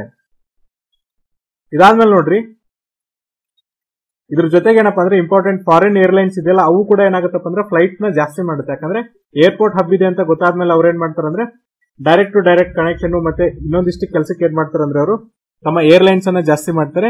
ಅದೇ ತರನಾಗಿ ಇಲ್ಲಿ ಏನೇನ್ ಫೆಸಿಲಿಟೀಸ್ ಸಿಗುತ್ತೆ ಅಂದ್ರೆ ನೋಡ್ರಿ, ಇಲ್ಲಿ ನಿಮ್ಗೆ ಮೋರ್ ರಿಸರ್ಚ್ ಸಿಗುತ್ತೆ ಏರ್ಕ್ರಾಫ್ಟ್ ಸಿಗುತ್ತೆ ಕ್ರೂಡ್ ಸಿಗ್ತಾರೆ ಮ್ಯಾನ್ ಪವರ್ ಇರುತ್ತೆ ಇನ್ಫ್ರಾಸ್ಟ್ರಕ್ಚರ್ ಇರುತ್ತೆ.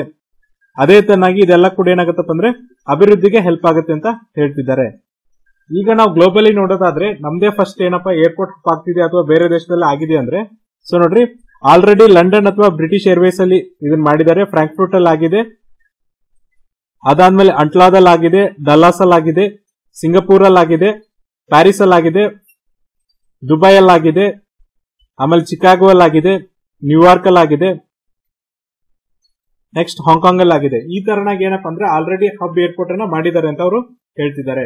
ಸೊ ಇದ್ರಲ್ಲಿ ನೋಡ್ರಿ ಯಾಕೆ ವಿನ್ ವಿನ್ ಸಿಚುವೇಶನ್ ಇರುತ್ತೆ ಅಂದ್ರೆ ನಿಮಗೆ ಎಕನಾಮಿಕ್ ಸ್ಕೇಲ್ ಇರುತ್ತಲ್ಲ, ಅದು ತುಂಬಾ ದೊಡ್ಡದಾಗಿರುತ್ತೆ. ಯಾಕಂದ್ರೆ ಫಸ್ಟ್ ಏನಪ್ಪ ಅಂದ್ರೆ ಡೊಮೆಸ್ಟಿಕ್ ಆಪರೇಟರ್ ಅಷ್ಟೇ ಆಪರೇಟ್ ಆಗಿರ್ತಾರೆ. ಈಗ ಏನಾಗುತ್ತೆ ಅಂದ್ರೆ ಫಾರಿನ್ ಆಪರೇಟರ್ಸ್ ಬಂದು ಆಪರೇಟ್ ಆಗೋದ್ರಿಂದ ಕನೆಕ್ಟಿವಿಟಿ ಜಾಸ್ತಿ ಆಗುತ್ತೆ. ಅದ್ರ ಜೊತೆ ಕನ್ಸ್ಯೂಮರ್ಸ್ ಕೂಡ ಜಾಸ್ತಿ ಆಗ್ತಾರೆ. ಸೊ ಹಾಗಾಗಿ ನಿಮ್ಮ ಬಿಸ್ನೆಸ್ ಕೂಡ ಏನಪ್ಪಾ ಅಂದ್ರೆ ಬೆಳೆಯುತ್ತೆ ಅಂತ ಹೇಳ್ತಿದ್ದಾರೆ. ಅದಾದ್ಮೇಲೆ ನೋಡ್ರಿ, ಈ ಡೈರೆಕ್ಟ್ ಕನೆಕ್ಟಿವಿಟಿ ಕೂಡ ಹೆಲ್ಪ್ ಆಗುತ್ತೆ ಅಂತ ಹೇಳ್ತಿದ್ದಾರೆ. ಇದರಿಂದ ಏನಪ್ಪಾ ಅಂದ್ರೆ ರೆವೆನ್ಯೂ ಅಪಾರ್ಚುನಿಟಿ ಕೂಡ ಜಾಸ್ತಿ ಇರುತ್ತೆ ಅಂತ ಹೇಳ್ತಿದ್ದಾರೆ. ಸೊ ಇದಾದ್ಮೇಲೆ ಏನೇನ್ ಫೆಸಿಲಿಟಿ ಇರುತ್ತಂದ್ರೆ ನೋಡ್ರಿ. ಇಲ್ಲಿ ಈ ಎಕೋ ಸಿಸ್ಟಮ್ ಅಲ್ಲಿ ಏನೇನ್ ಇರುತ್ತೆ ಅಂದ್ರೆ ಏರೋ ಮತ್ತೆ ನಾನ್ ಏರೋ ಸರ್ವಿಸ್ ಪ್ರೊವೈಡರ್ ಇರ್ತಾರೆ ಏರ್ಪೋರ್ಟ್ ಅಲ್ಲಿ. ಜೊತೆಗೆ ಕಾರ್ಗೋ ಸರ್ವಿಸ್ ಜಾಸ್ತಿ ಆಗುತ್ತೆ. ಅದಾದ್ಮೇಲೆ ನೋಡ್ರಿ ಫ್ಯೂಯಲಿಂಗ್ ಮತ್ತೆ ರಿಟೇಲ್ ಡ್ಯೂಟಿ ಫ್ರೀ ಇರುತ್ತೆ ವೆಹಿಕಲ್ ಪಾರ್ಕಿಂಗ್ ಇರುತ್ತೆ. Aircraft maintenance and repair overall ಈ ತರದ ಕೆಲವೊಂದಿಷ್ಟು ಸರ್ವಿಸ್ ಕೂಡ ನಿಮ್ಗೆ ಸಿಗುತ್ತೆ ಅಂತ ಹೇಳ್ತಿದ್ದಾರೆ.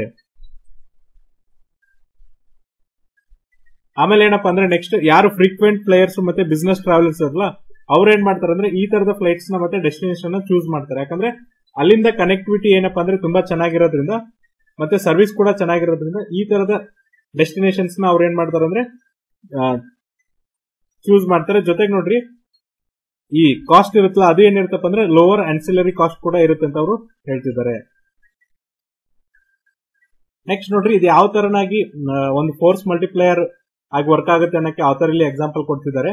ಸೊ ನೋಡ್ರಿ ಗವರ್ಮೆಂಟ್ ಪರ್ಸ್ಪೆಕ್ಟಿವ್ ಏನಪ್ಪ ಅಂದ್ರೆ ಒಂದು ಏರ್ಪೋರ್ಟ್ ಆಯ್ತು ಅಂದ್ರೆ ಅದೇನಾಗುತ್ತೆ ಅಂದ್ರೆ ಫೋರ್ಸ್ ಮಲ್ಟಿಪ್ಲರ್ ಆಗಿ ವರ್ಕ್ ಆಗುತ್ತೆ. ಅಂದ್ರೆ ಅಲ್ಲಿ ಏನಾಗುತ್ತೆ ಅಂದ್ರೆ ಎಕನಾಮಿಕ್ ಆಕ್ಟಿವಿಟಿ ಜಾಸ್ತಿ ಆಗುತ್ತೆ. ಅದರಿಂದ ಏನಾಗುತ್ತಪ್ಪ ಅಂದ್ರೆ ಉದ್ಯೋಗಗಳು ಬರ್ತವೆ. ಎಂಪ್ಲಾಯ್ಮೆಂಟ್ ಅಂದ್ರೆ ಉದ್ಯೋಗಸ್ಥರಾಗ್ತಾರೆ ಇನ್ವೆಸ್ಟ್ಮೆಂಟ್ ಬರುತ್ತೆ ಬಿಸ್ನೆಸ್ ಬರುತ್ತೆ ಟ್ರೇಡ್ ವ್ಯಾಪಾರ ಆಗುತ್ತೆ ಕಾಮರ್ಸ್ ಆಗುತ್ತೆ ಟೂರಿಸಂ ಮತ್ತೆ ಕಲ್ಚರ್ ಜಾಸ್ತಿ ಆಗುತ್ತೆ ಅಂತ ಅವರು ಹೇಳ್ತಿದ್ದಾರೆ. ಹಾಗಾಗಿ ಒಂದು ಏರ್ಪೋರ್ಟ್ ಡೆವಲಪ್ ಆಯ್ತು ಅಂದ್ರೆ ಸರೌಂಡಿಂಗ್ ಏರಿಯಾ ಕೂಡ ಏನಪ್ಪಾ ಅಂದ್ರೆ ಡೆವಲಪ್ಮೆಂಟ್ ಆಗುತ್ತೆ ಅಂತ ಹೇಳ್ತಿದ್ದಾರೆ. ಇದ್ರ ಜೊತೆಗೆ ನೋಡ್ರಿ ಆತರ ತರ ಏನ್ ಹೇಳ್ತಿದ್ದಾರೆ ಅಂದ್ರೆ ನಾವೇನಾದ್ರೂ ಏವಿಯೇಷನ್ ಇಂಡಸ್ಟ್ರಿಯಲ್ಲಿ ಒಂದು ಜಾಬ್ ನಾವೇನಾದ್ರೂ ಕ್ರಿಯೇಟ್ ಮಾಡಿದ್ರೆ, ಅದರ ಅಲೈಡ್ ಸೆಕ್ಟರ್ ಅಲ್ಲಿ ನಾವೇನಪ್ಪ ಅಂದ್ರೆ ಅಪ್ ಟು ಸಿಕ್ಸ್ ಜಾಬ್ಸ್ ನಾವೇನ್ ಮಾಡಬಹುದು ಅಂದ್ರೆ ಕ್ರಿಯೇಟ್ ಮಾಡಬಹುದು ಅಂತ ಅವರು ಹೇಳ್ತಿದ್ದಾರೆ. ಅದು ಯಾವ್ದ್ರಲ್ಲಪ್ಪ ಅಂದ್ರೆ ಟೂರಿಸಂ ಮತ್ತೆ ಹಾಸ್ಪಿಟಾಬಿಲಿಟಿ ಸೊ ನೋಡ್ರಿ, ಈಗ ಫಾರ್ ಎಕ್ಸಾಂಪಲ್ ನಿಯರೆಸ್ಟ್ ಏರ್ಪೋರ್ಟ್ ಇದ್ದಾಗ ಅಲ್ಲಿ ಏನಾಗುತ್ತಪ್ಪ ಅಂದ್ರೆ ಫಾರಿನರ್ಸ್ ಬರ್ತಾರೆ ಅಥವಾ ಬೇರೆ ಕಡೆಯಿಂದ ಟ್ರಾವೆಲರ್ಸ್ ಬಂದಾಗ ಕೂಡ ಅವ್ರಿಗೆ ಏನಂದ್ರೆ ಬೇಕಾದಂತ ಹಾಸ್ಪಿಟಲಿಟಿ ಯಾವ ಬೇಕಲ್ಲ, ಅಂದ್ರೆ ನಿಮ್ಗೆ ರೆಸ್ಟೋರೆಂಟ್ಸ್ ಇರ್ಬೋದು ಹೋಟೆಲ್ಸ್ ಇರ್ಬೋದು, ಅದನ್ನ ಚೂಸ್ ಮಾಡಿ ಹೋಗ್ತಾರೆ. ಸೊ ಮುಂಚೆ ಅಲ್ಲಿ ಚೆನ್ನಾಗಿರೋ ರೆಸ್ಟೋರೆಂಟ್ ಇರಲಿಲ್ಲ ಹೋಟೆಲ್ಸ್ ಇರಲಿಲ್ಲ ಅಂದ್ರೆ ಅಲ್ಲಿ ಹೊಸ ರೆಸ್ಟೋರೆಂಟ್ಸ್ ಬರುತ್ತೆ ಹೋಟೆಲ್ಸ್ ಬರುತ್ತೆ. ಅದರಿಂದ ಉದ್ಯೋಗಗಳು ಜಾಸ್ತಿ ಆಗುತ್ತೆ. ಹಾಗಾಗಿ ಏವಿಯೇಷನ್ ಸೆಕ್ಟರ್ ಅಲ್ಲಿ ಕೇವಲ ಒಂದು ಜಾಬ್ ಕ್ರಿಯೇಟ್ ಆದ್ರೆ ಸಾಕು. ಅಲೈಟ್ ಸೆಕ್ಟರ್ ಅಲ್ಲಿ ಎಸ್ಪೆಷಲಿ ಹಾಸ್ಪಿಟಾಲಿಟಿ ಮತ್ತೆ ಟೂರಿಸಂ ಅಲ್ಲಿ ಏನಪ್ಪಾ ಅಂದ್ರೆ ಆರು ಉದ್ಯೋಗಗಳು ಕ್ರಿಯೇಟ್ ಆಗುತ್ತೆ ಅಂತ ಹೇಳ್ತಿದ್ದಾರೆ. ಅದ್ರ ಜೊತೆಗೆ ನೋಡ್ರಿ ಸಿಟಿದ ಸೋಷಿಯಲ್ ಡೆವಲಪ್ಮೆಂಟ್ ಮತ್ತೆ ಎಕನಾಮಿಕ್ ಡೆವಲಪ್ಮೆಂಟ್ ಕೂಡ ಆಗುತ್ತೆ ಅಂತ ಹೇಳ್ತಿದ್ದಾರೆ. ಅದ್ರ ಜೊತೆಗೆ ಯಾರ್ಯಾರೆಲ್ಲ ಸಿಟಿಲಿ ಇರ್ತಾರಲ್ಲ, ಅವ್ರಿಗೆ ಏನಾಗುತ್ತಪ್ಪ ಅಂದ್ರೆ ಎಕನಾಮಿಕಲ್ ಅಪಾರ್ಚುನಿಟೀಸ್ ಜಾಸ್ತಿ ಸಿಗುತ್ತೆ. ಫಾರ್ ಎಕ್ಸಾಂಪಲ್ ನೋಡ್ರಿ, ಈಗ ಒಂದು ಹೊಸ ಹಾಸ್ಪಿಟಲ್ ಒಂದು ಹೊಸ ಹೋಟೆಲ್ ಆಗ್ತಿದೆ ಅಂದ್ರೆ ಅದಕ್ಕೆ ಮ್ಯಾನೇಜರ್ಸ್ ಗ್ರೌಂಡ್ ಲೆವೆಲ್ ಜಾಬ್ಸ್ ಬೇಕು. ಸೊ ಅದು ಕೂಡ ಲೋಕಲೈಟ್ಸ್ ಸಿಗೋದ್ರಿಂದ ಅವರ ಏನ್ ರೆವೆನ್ಯೂ ಸೋರ್ಸ್ ಇರುತ್ತಲ್ಲ ಇನ್ಕಮ್ ಅದು ಜಾಸ್ತಿ ಆಗುತ್ತೆ, ಅವರು way of living standard of living ಕೂಡ ಚೇಂಜ್ ಆಗುತ್ತೆ ಅಂತ ಅವರು ಹೇಳ್ತಿದ್ದಾರೆ. ಇದಾದ್ಮೇಲೆ ನೋಡ್ರಿ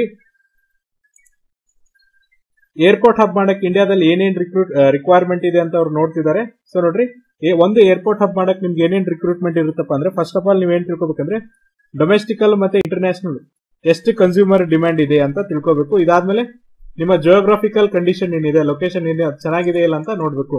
ಜಿಯೋಗ್ರಫಿಕಲ್ ಲೊಕೇಶನ್ ಅಂದ್ರೆ, ನಿಮ್ಗೆ ಲ್ಯಾಂಡಿಂಗ್ ಮಾಡಕ್ಕೆ ಟೇಕ್ ಆಫ್ ಮಾಡಕ್ಕೆ ಸ್ಪೇಷಿಯಸ್ ಇದೆಯಾ, ಮತ್ತೆ ಚೆನ್ನಾಗಿ ಗಾಳಿ ಸಿಗುತ್ತಾ, ಇದನ್ನೆಲ್ಲ ನೀವೇನಂದ್ರೆ ಕನ್ಸಿಡರೇಷನ್ ಮಾಡ್ಬೇಕಾಗುತ್ತೆ.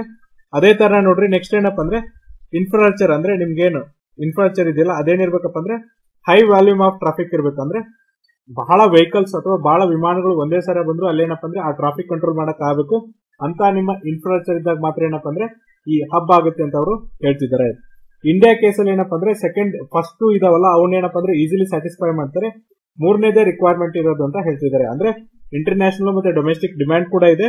ಅದ್ರ ಜೊತೆಗೆ ಏನಪ್ಪ ಅಂದ್ರೆ ಗುಡ್ ಜಾಬ್ರಿಕಲ್ ಕಂಡೀಷನ್ಸ್ ಕೂಡ ಲೊಕೇಶನ್ಸ್ ಕೂಡ ಇದಾವೆ. ಬಟ್ ಮೂರನೇದೇನು ಇನ್ಫ್ರಾಸ್ಟ್ರಕ್ಚರ್ ಇದೆಯಲ್ಲ, ಅದ್ರಲ್ಲಿ ನಾವೇನಂದ್ರೆ ಲ್ಯಾಗ್ ಆಗ್ತಿದೀವಿ ಅಂತ ಹೇಳ್ತಿದ್ದಾರೆ.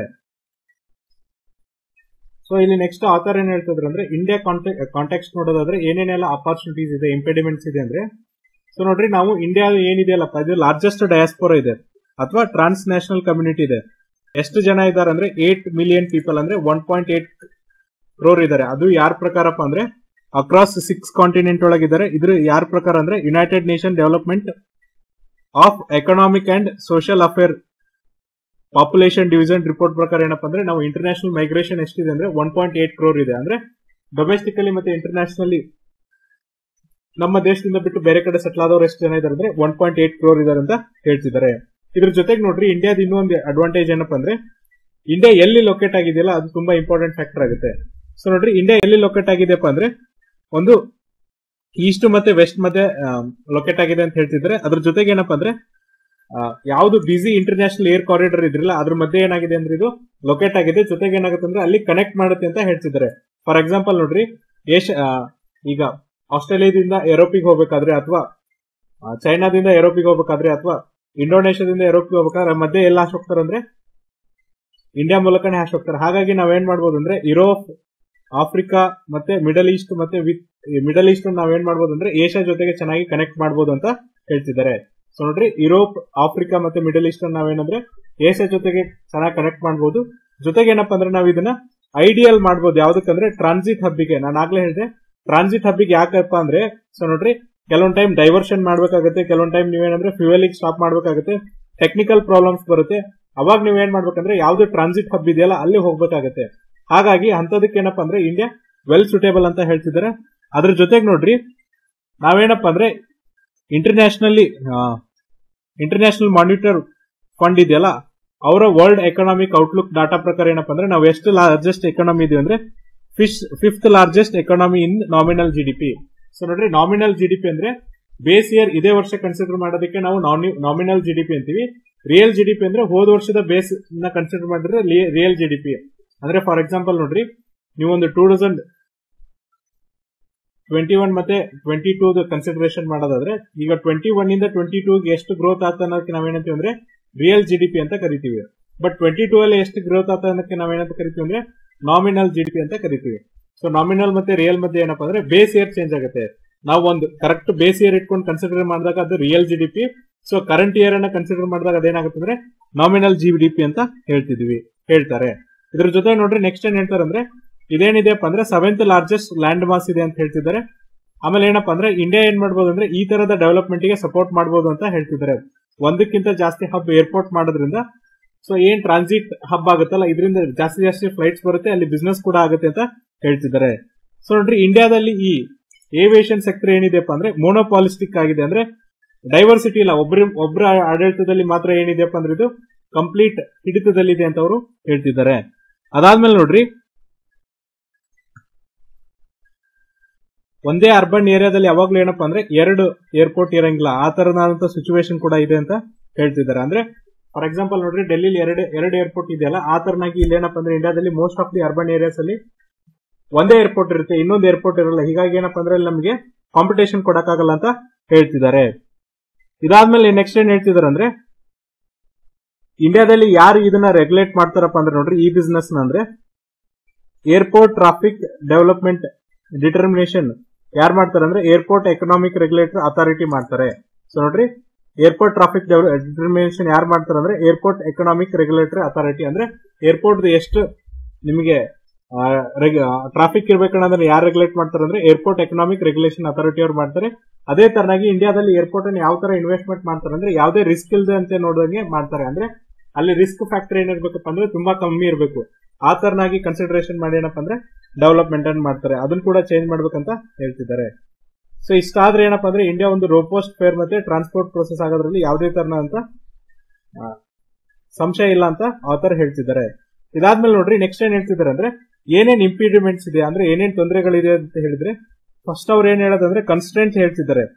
ಎಲ್ಲಿ ಕನ್ಸ್ಟೆಂಟ್ಸ್ ಹೇಳ್ತಿದಾರಪ್ಪ ಅಂದ್ರೆ, ಈಗ ನೋಡ್ರಿ, ಅವ್ರ ಪ್ರಕಾರ ಏನಪ್ಪಾ ಅಂದ್ರೆ airport of airport authority of India act nineteen ninety four ಇದೆಯಲ್ಲ, ಇದೇನ್ ಮಾಡುತ್ತಂದ್ರೆ ಯಾವುದೇ ಒಂದು ಲ್ಯಾಂಡ್ ಮಾಸ್ ಇದೆಯಲ್ಲ ಎಸ್ಪೆಷಲಿ ಏನಪ್ಪ ಅಂದ್ರೆ ಕಮರ್ಷಿಯಲ್ಗೆ ಆಪರೇಟ್ ಆಗುವಂತ ಲ್ಯಾಂಡ್ ಮಾಸ್ ನಾವೇನಪ್ಪ ಅಂದ್ರೆ, ಬೇರೆ ಪರ್ಪಸ್ಗೆ ಯೂಸ್ ಮಾಡಂಗಿಲ್ಲ ಅಂತ ಹೇಳ್ತಿದ್ದಾರೆ.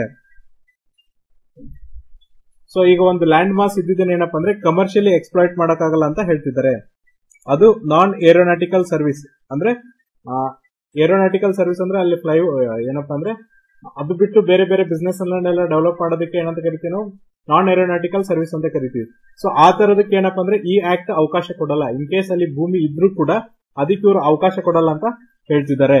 ಇದಾದ್ಮೇಲೆ ನೋಡ್ರಿ ನೆಕ್ಸ್ಟ್ ಏನಪ್ಪಾ ಅಂದ್ರೆ ಇಲ್ಲಿ high cost to low fare ಅಂದ್ರೆ ಎನ್ವಿರಾನ್ಮೆಂಟಲ್ ಬಂದಾಗ ನಮ್ಗೆ ಏನಂದ್ರೆ ಹೈ ಕಾಸ್ಟ್ ಇರುತ್ತೆ ಬಟ್ ನಾವು ಬೇರೆ ಕಡೆ ಕಂಡೀಷನ್ ಅಂದ್ರೆ ಎಕನಾಮಿಕ್ ಆಪರೇಷನ್ ನೋಡೋದಾದ್ರೆ ಲೋ ಕಾಸ್ಟ್ ಅಲ್ಲಿ ಆಪರೇಟ್ ಮಾಡ್ತೀವಿ. ಫಾರ್ ಎಕ್ಸಾಂಪಲ್ ನೋಡ್ರಿ, ಒಂದು ಏರ್ಪೋರ್ಟ್ ಮೇಲೆ ಮಾಡ್ಬೇಕಾದ್ರೆ ಮಿನಿಮಮ್ ಇಷ್ಟು ಅಮೌಂಟ್ ಅಂತ ಇರುತ್ತೆ ಬಟ್ ನಾವು ಏರ್ಲೈನ್ ಅನ್ನ ಆಪರೇಟ್ ಮಾಡ್ಬೇಕಾದ್ರೆ ತುಂಬಾ ಕಮ್ಮಿ ಸರ್ವಿಸ್ ಅಲ್ಲಿ ಕೊಡ್ತಿದೀವಿ ಅಂತ ಹೇಳ್ತಿದ್ದಾರೆ. ಹಾಗಾಗಿ ಆಪರೇಟಿಂಗ್ ಎನ್ವೈರ್ಮೆಂಟ್ ಏನಿದೆ ಅಂದ್ರೆ ಹೈ ಕಾಸ್ಟ್ ಇದೆ ಬಟ್ ನಾವು ಫೇರ್ಸ್ ಇಡ್ಬೇಕಂದ್ರೆ ಕಸ್ಟಮರ್ಸ್ ಕೊಡ್ಬೇಕಾದ್ರೆ ಲೋ ಫೇರ್ ಇಟ್ಟಿದೀವಿ ಅಂತ ಹೇಳ್ತಿದ್ದಾರೆ.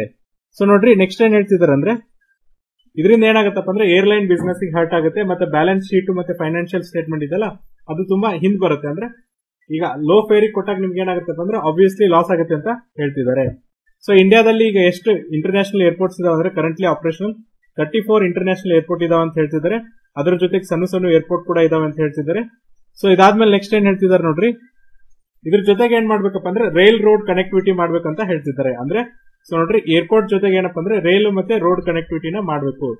ಅಂದ್ರೆ ರೈಲ್ ಏರ್ಪೋರ್ಟ್ ಅಥವಾ ರೋಡ್ ಏರ್ಪೋರ್ಟ್ ಕನೆಕ್ಟಿವಿಟಿ ಯಾಕೆ ಇದನ್ನ ಹೇಳ್ತಿದ್ದಾರೆ ಅಂದ್ರೆ ಇಲ್ಲಿ ನೋಡ್ರಿ, ಏನಾಗುತ್ತೆ ಅಂದ್ರೆ ಯಾವ್ದೋ ಕಾರ್ಗೋ ಪಾರ್ಸಲ್ ಇತ್ತು ಅಂದ್ರೆ ರೋಡ್ ಕನೆಕ್ಟಿವಿಟಿ ಇಲ್ಲ ಅಂದ್ರೆ ಏರ್ಪೋರ್ಟಿಗೆ ಏನು ನೀವು ಕಾರ್ಗೋನ ಕಳ್ಸಕ್ಕಾಗಲ್ಲ. ಹಾಗಾಗಿ ನಿಯರೆಸ್ಟ್ ಏರ್ಪೋರ್ಟಿಗೆ ನೀವು ಒಳ್ಳೆ ಡೆವಲಪ್ಮೆಂಟ್ ಅಥವಾ ಇನ್ಫ್ರಾಸ್ಟ್ರಕ್ಚರ್ ಕೊಟ್ಬಿಟ್ರೆ, ಅಲ್ಲಿ ರೈಲ್ ಮೂಲಕ ಆಗಲಿ, ರೋಡ್ ಮೂಲಕ ಆಗಲಿ ಅಲ್ಲೇನಾಗುತ್ತೆ ಅಂದ್ರೆ ಕಾರ್ಗೋ ಸರ್ವಿಸ್ ಬರುತ್ತೆ. ಅವಾಗ ನಾವ್ ಏನ್ ಮಾಡ್ಬೋದು ಅಂದ್ರೆ ಪೊಟೆನ್ಶಿಯಲ್ ಕಾರ್ಗೋ ಸರ್ವಿಸ್ ಏನೇನಿದೆಯಲ್ಲ ಅದನ್ನ ಕೂಡ ಟ್ಯಾಪ್ ಮಾಡ್ಬೋದು ಅಂತ ಹೇಳ್ತಿದ್ದಾರೆ. ಸೊ ನೋಡ್ರಿ, ನಾನು ಹೇಳಿದ್ದೆ ಏನಪ್ಪಾ ಅಂದ್ರೆ ಈಗ ಇಂಡಿಯನ್ ಪೋಸ್ಟ್ ಆಫೀಸ್ ಅವರು ಕೂಡ ಏನಪ್ಪಾ ಅಂದ್ರೆ ಕೆಲವೊಂದಿಷ್ಟು ಡೆಲಿವರಿನ ಐಟಮ್ಸ್ನ ಡೆಲಿವರಿ ಮಾಡಕ್ ನೋಡ್ತಿದ್ದಾರೆ. ಯಾಕಂದ್ರೆ ಅದು ಬರುವಂತ ಡೇಸ್ ಅಲ್ಲಿ ಏನಂದ್ರೆ ಅದರ ಎಕಾನಮಿ ಅಥವಾ ಅದರ ಗ್ರೋತ್ ಇದೆಯಲ್ಲ, ಅದು ತುಂಬಾ ಜಾಸ್ತಿ ಇದೆ.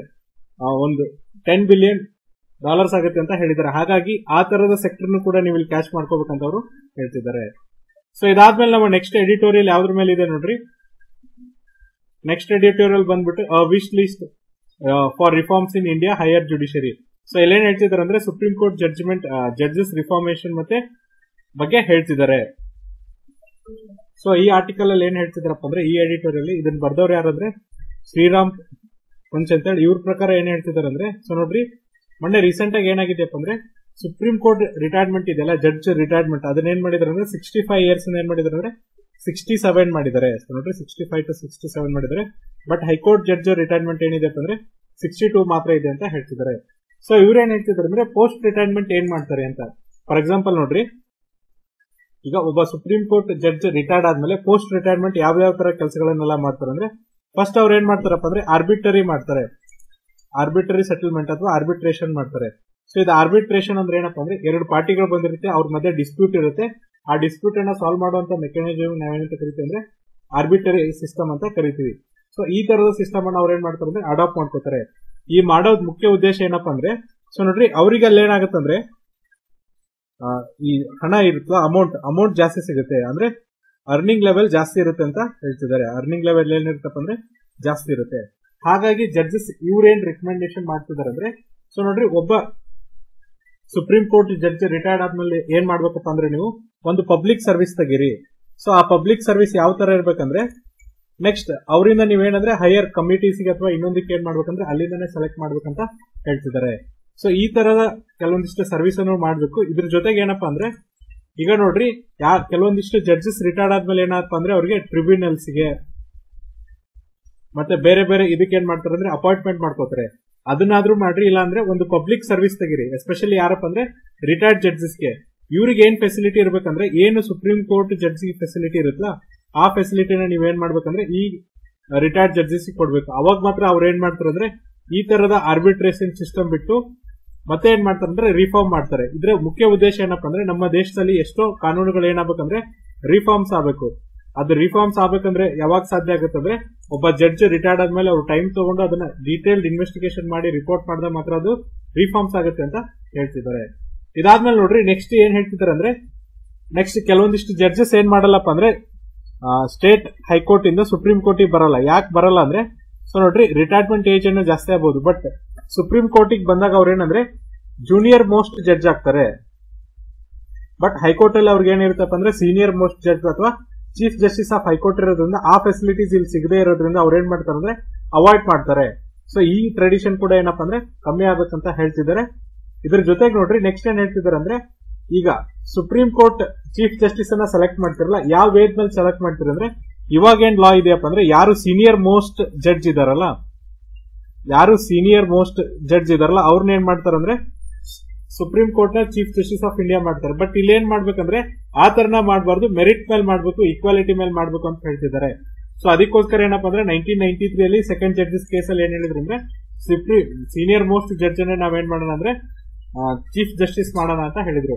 ಇದ್ರ ಜೊತೆಗೆ ನೋಡ್ರಿ, ಈಗ ಚೀಫ್ ಜಸ್ಟಿಸ್ ಟೆನ್ಯೂರ್ ಇದೆಯಲ್ಲ, ಅದು ಕೂಡ ಏನಪ್ಪಾ ಅಂದ್ರೆ ಕಾನ್ಸ್ಟೆಂಟ್ ಆಗಿರಲ್ಲ. ಫಾರ್ ಎಕ್ಸಾಂಪಲ್ ಒಬ್ಬ ಚೀಫ್ ಜಸ್ಟಿಸ್ ಅವ್ರು ಏನ್ ಮಾಡ್ತಾರೆ ಅಂದ್ರೆ, ಎರಡು ತಿಂಗಳು ಟೈಮ್ ಸರ್ವ್ ಮಾಡಿದ್ರೆ, ಇನ್ನೊಬ್ರು ಏನ್ ಮಾಡ್ತಾರೆ ಅಂದ್ರೆ, ಎರಡು ವರ್ಷದವರೆಗೂ ಮಾಡ್ತಾರೆ. ಸೊ ಇಲ್ಲಿ ಏನಾಗಬೇಕಪ್ಪ ಅಂದ್ರೆ ಯೂನಿಫಾರ್ಮಿಟಿ ಆಗ್ಬೇಕು. ಯಾಕಂದ್ರೆ ಒಬ್ಬ ಚೀಫ್ ಜಸ್ಟಿಸ್ ಏನಪ್ಪ ಅಂದ್ರೆ ರೋಲ್ ಅಂಡ್ ರೆಸ್ಪಾನ್ಸಿಬಿಲಿಟಿ ಜಾಸ್ತಿ ಇರೋದ್ರಿಂದ ರಿಫಾರ್ಮ್ ಅನ್ನೋದಲ್ಲಿ ಏನಾಗುತ್ತೆ ಅಂದ್ರೆ ನೆಸೆಸರಿ ಆಗುತ್ತೆ ಅಂತ ಹೇಳ್ತಿದ್ದಾರೆ. ಅದಕ್ಕೆ ಅವ್ರು ಏನ್ ಹೇಳ್ತಿದ್ದಾರೆ ಅಂದ್ರೆ ನೆಕ್ಸ್ಟ್ ನೀವು ಏನಾದ್ರೂ ಚೀಫ್ ಜಸ್ಟಿಸ್ನ ಸೆಲೆಕ್ಟ್ ಮಾಡಿದ್ರೆ ಅದಕ್ಕೊಂದಿಷ್ಟು ರೂಲ್ಸ್ ಅಂಡ್ ರೆಕಮೆಂಡೇಶನ್ಸ್ನ ಮಾಡ್ಕೊರಿ. ಅದ್ರ ಜೊತೆಗೆ ನೋಡ್ರಿ ಅವ್ರೇನ್ ಹೇಳ್ತಿದಾರೆ ಅಂದ್ರೆ ನೀವು ಯಾವುದೇ ತರನಾಗಿ ಚೀಫ್ ಜಸ್ಟಿಸ್ನ ತಗೊಳ್ಳೋದಿದ್ರೆ ಏನ್ ಮಾಡ್ರಿ ಅಂದ್ರೆ ಯಾರು ಹೈಕೋರ್ಟ್ ಅಲ್ಲಿ ಚೀಫ್ ಜಸ್ಟಿಸ್ ಆಗಿ ವರ್ಕ್ ಮಾಡಿದಾರಲ್ಲ ಅವ್ರನ್ನ ಸೆಲೆಕ್ಟ್ ಮಾಡ್ರಿ. ಅಂದ್ರೆ ಫಾರ್ ಎಕ್ಸಾಂಪಲ್ ಎಕ್ಸಿಸ್ಟಿಂಗ್ ಅಥವಾ serving high court chief justice ಇದಾರಲ್ಲ, ಅವ್ರನ್ನ ನೀವು ತಗೊಳ್ಳೋದ್ರಿಂದ ಏನಾಗುತ್ತಪ್ಪ ಅಂದ್ರೆ, ಅವ್ರ ಲೀಡರ್ಶಿಪ್ ಕ್ವಾಲಿಟಿ ಚೆನ್ನಾಗಿರುತ್ತೆ. ಯಾಕಂದ್ರೆ ಆಲ್ರೆಡಿ ಅವ್ರು ಏನಪ್ಪ ಅಂದ್ರೆ ಚೀಫ್ ಜಸ್ಟಿಸ್ ಆಗಿ ಅಲ್ಲಿ ವರ್ಕ್ ಮಾಡಿರ್ತಾರೆ. ಆಮೇಲೆ ಅಲಾಟ್ಮೆಂಟ್ ಮಾಡ್ಬೇಕಾದ್ರೆ ಏನ್ ಮಾಡ್ತಾರೆ ಅಂದ್ರೆ, ಎಲ್ಲರಿಗೂ ಈಕ್ವಲ್ ಆಗಿ ಅಲಾಟ್ಮೆಂಟ್ ಮಾಡ್ತಾರೆ. ಜೊತೆಗೆ ಸೆನ್ಸಿಟಿವ್ ಕೇಸಸ್ ಏನಿರ್ತಾರೆ those related to international affairs security ಮತ್ತೆ ಲಾ ಇದಕ್ಕೆಲ್ಲ ರಿಲೇಟೆಡ್ ಆದಂತ ಏನ್ ಕೇಸಸ್ ಇರುತ್ತಲ್ಲ ಸೆನ್ಸಿಟಿವ್ ಕೇಸ್ ಅದ್ರಲ್ಲಿ ಏನಪ್ಪ ಅಂದ್ರೆ, ಒಳ್ಳೆ ಎಕ್ಸ್ಪೀರಿಯನ್ಸ್ ಇರುವಂತ ಜಡ್ಜಿಗೆ ಅವ್ರು ಏನ್ ಮಾಡ್ತಾರೆ ಅಂದ್ರೆ ಬೆಂಚ್ ಅನ್ನ ಅಲೌಟ್ ಮಾಡ್ತಾರೆ. ಹಾಗಾಗಿ ನೀವು ಸೆಲೆಕ್ಟ್ ಮಾಡ್ಬೇಕಾದ್ರೆ ಏನ್ ಮಾಡ್ಬೇಕಂದ್ರೆ ಈ ಚೀಫ್ ಜಸ್ಟಿಸ್ ಆಫ್ ಇಂಡಿಯಾನ ಸೆಲೆಕ್ಟ್ ಮಾಡ್ಬೇಕಾದ್ರೆ, ಬರೀ ಸುಪ್ರೀಂ ಕೋರ್ಟ್ ಕೊಲಿಜಿಯಂ ಇಂದ ಮಾತ್ರ ಸೆಲೆಕ್ಟ್ ಮಾಡ್ಬೇಡ್ರಿ. ಅದ್ರ ಜೊತೆಗೆ ಏನ್ ಮಾಡ್ರಿ ಅಂದ್ರೆ ನೀವು ಏನು state chief justice of high court ಇದ್ರಲ್ಲ, ಅಲ್ಲಿಂದನೂ ಸೆಲೆಕ್ಟ್ ಮಾಡ್ರಿ ಅಂತ ಹೇಳ್ತಿದ್ರೆ. ಇದರಿಂದ ಏನಾಗತ್ತಪ್ಪ ಅಂದ್ರೆ ಫಸ್ಟ್ ಅವ್ರ ಲೀಡರ್ಶಿಪ್ ಕ್ವಾಲಿಟಿ ಇರೋದ್ರಿಂದ ಎಲ್ಲರನ್ನೂ ಚೆನ್ನಾಗಿ ಹ್ಯಾಂಡಲ್ ಮಾಡ್ತಾರೆ ಅಥವಾ ಎಲ್ಲಾರನ್ನೂ ಚೆನ್ನಾಗಿ ನೋಡ್ಕೋತಾರೆ. ಆಮೇಲೆ ಯಾವ್ಯಾವ್ದು ಸೆನ್ಸಿಟಿವ್ ಕೇಸ್ ಇರುತ್ತಲ್ಲ ಅವ್ರಿಗೆ ಒಳ್ಳೆ ಎಕ್ಸ್ಪೀರಿಯನ್ಸ್ ಇದ್ದಂತ ಬೆಂಚಿಗೆ ಅದನ್ನ ಅಲೌಟ್ ಮಾಡ್ತಾರೆ. ಅದ್ರ ಜೊತೆಗೆ ಏನಪ್ಪಾ ಅಂದ್ರೆ ಅಲ್ಲೇನು ಅಸಮಾಧಾನ ಅಸಮಾಧಾನ ಕ್ರಿಯೇಟ್ ಆಗುತ್ತಲ್ಲ ಅದನ್ನು ಕೂಡ ಕಮ್ಮಿ ಮಾಡ್ತಾರೆ ಅಂತ ಹೇಳ್ತಿದ್ದಾರೆ. ಇದಷ್ಟೇ ಅಲ್ಲದೆ ಅದನ್ನ ಯಾಕೆ ಮಾಡ್ಬೇಕು ಅಂತ ಹೇಳ್ತಿದ್ದಾರೆ ಅಂದ್ರೆ ಸೊ ನೋಡ್ರಿ ಕರೆಂಟ್ಲಿ ಯು ಎಸ್ ಅಲ್ಲಿ ಏನಿದೆ ಅಂದ್ರೆ ಈ ಸಿಸ್ಟಮ್ ಇದೆ. ಏನಪ್ಪಾ ಅಂದ್ರೆ, ಅವ್ರು ಯಾರಾದ್ರೂ ಚೀಫ್ ಜಸ್ಟಿಸ್ ಆಫ್ ಸುಪ್ರೀಂ ಕೋರ್ಟಿಗೆ ಮಾಡ್ಕೊಳ್ಳೋದಿದ್ರೆ ಅವ್ರು ಏನ್ ಮಾಡ್ತಾರೆ ಅಂದ್ರೆ, ಅವರ ಹೈಕೋರ್ಟ್ ಇಂದಾನೆ ಸೆಲೆಕ್ಟ್ ಮಾಡ್ತಾರೆ. ಹಾಗಾಗಿ ಈ ಸಿಸ್ಟಮ್ನ ನೀವು ಇಂಡಿಯಾದಲ್ಲಿ ತರೋದ್ರಿಂದ ಏನಾಗುತ್ತಪ್ಪ ಅಂದ್ರೆ, ನಮ್ಮ ಜುಡಿಷಿಯರಿ ಇನ್ನೂ ಕೂಡ ಇಂಪ್ರೂವ್ ಆಗುತ್ತೆ ಅಂತ ಅವರು ಹೇಳ್ತಿದ್ದಾರೆ. ಸೊ ಇದಿಷ್ಟೇನಪ್ಪ ಅಂದ್ರೆ ಇವತ್ತಿನ ಹಿಂದೂ ಅನಾಲಿಸಿಸ್ ನಾಳೆ ಮತ್ತೊಂದಿಷ್ಟು ಆರ್ಟಿಕಲ್ಸ್ ಮತ್ತೆ ಎಡಿಟೋರಿಯಲ್ ಅನಲೈಸ್ ಮಾಡೋಣ. ಅಲ್ಲಿವರೆಗೂ ನೋಡ್ತಾರೆ classic education YouTube channel thank you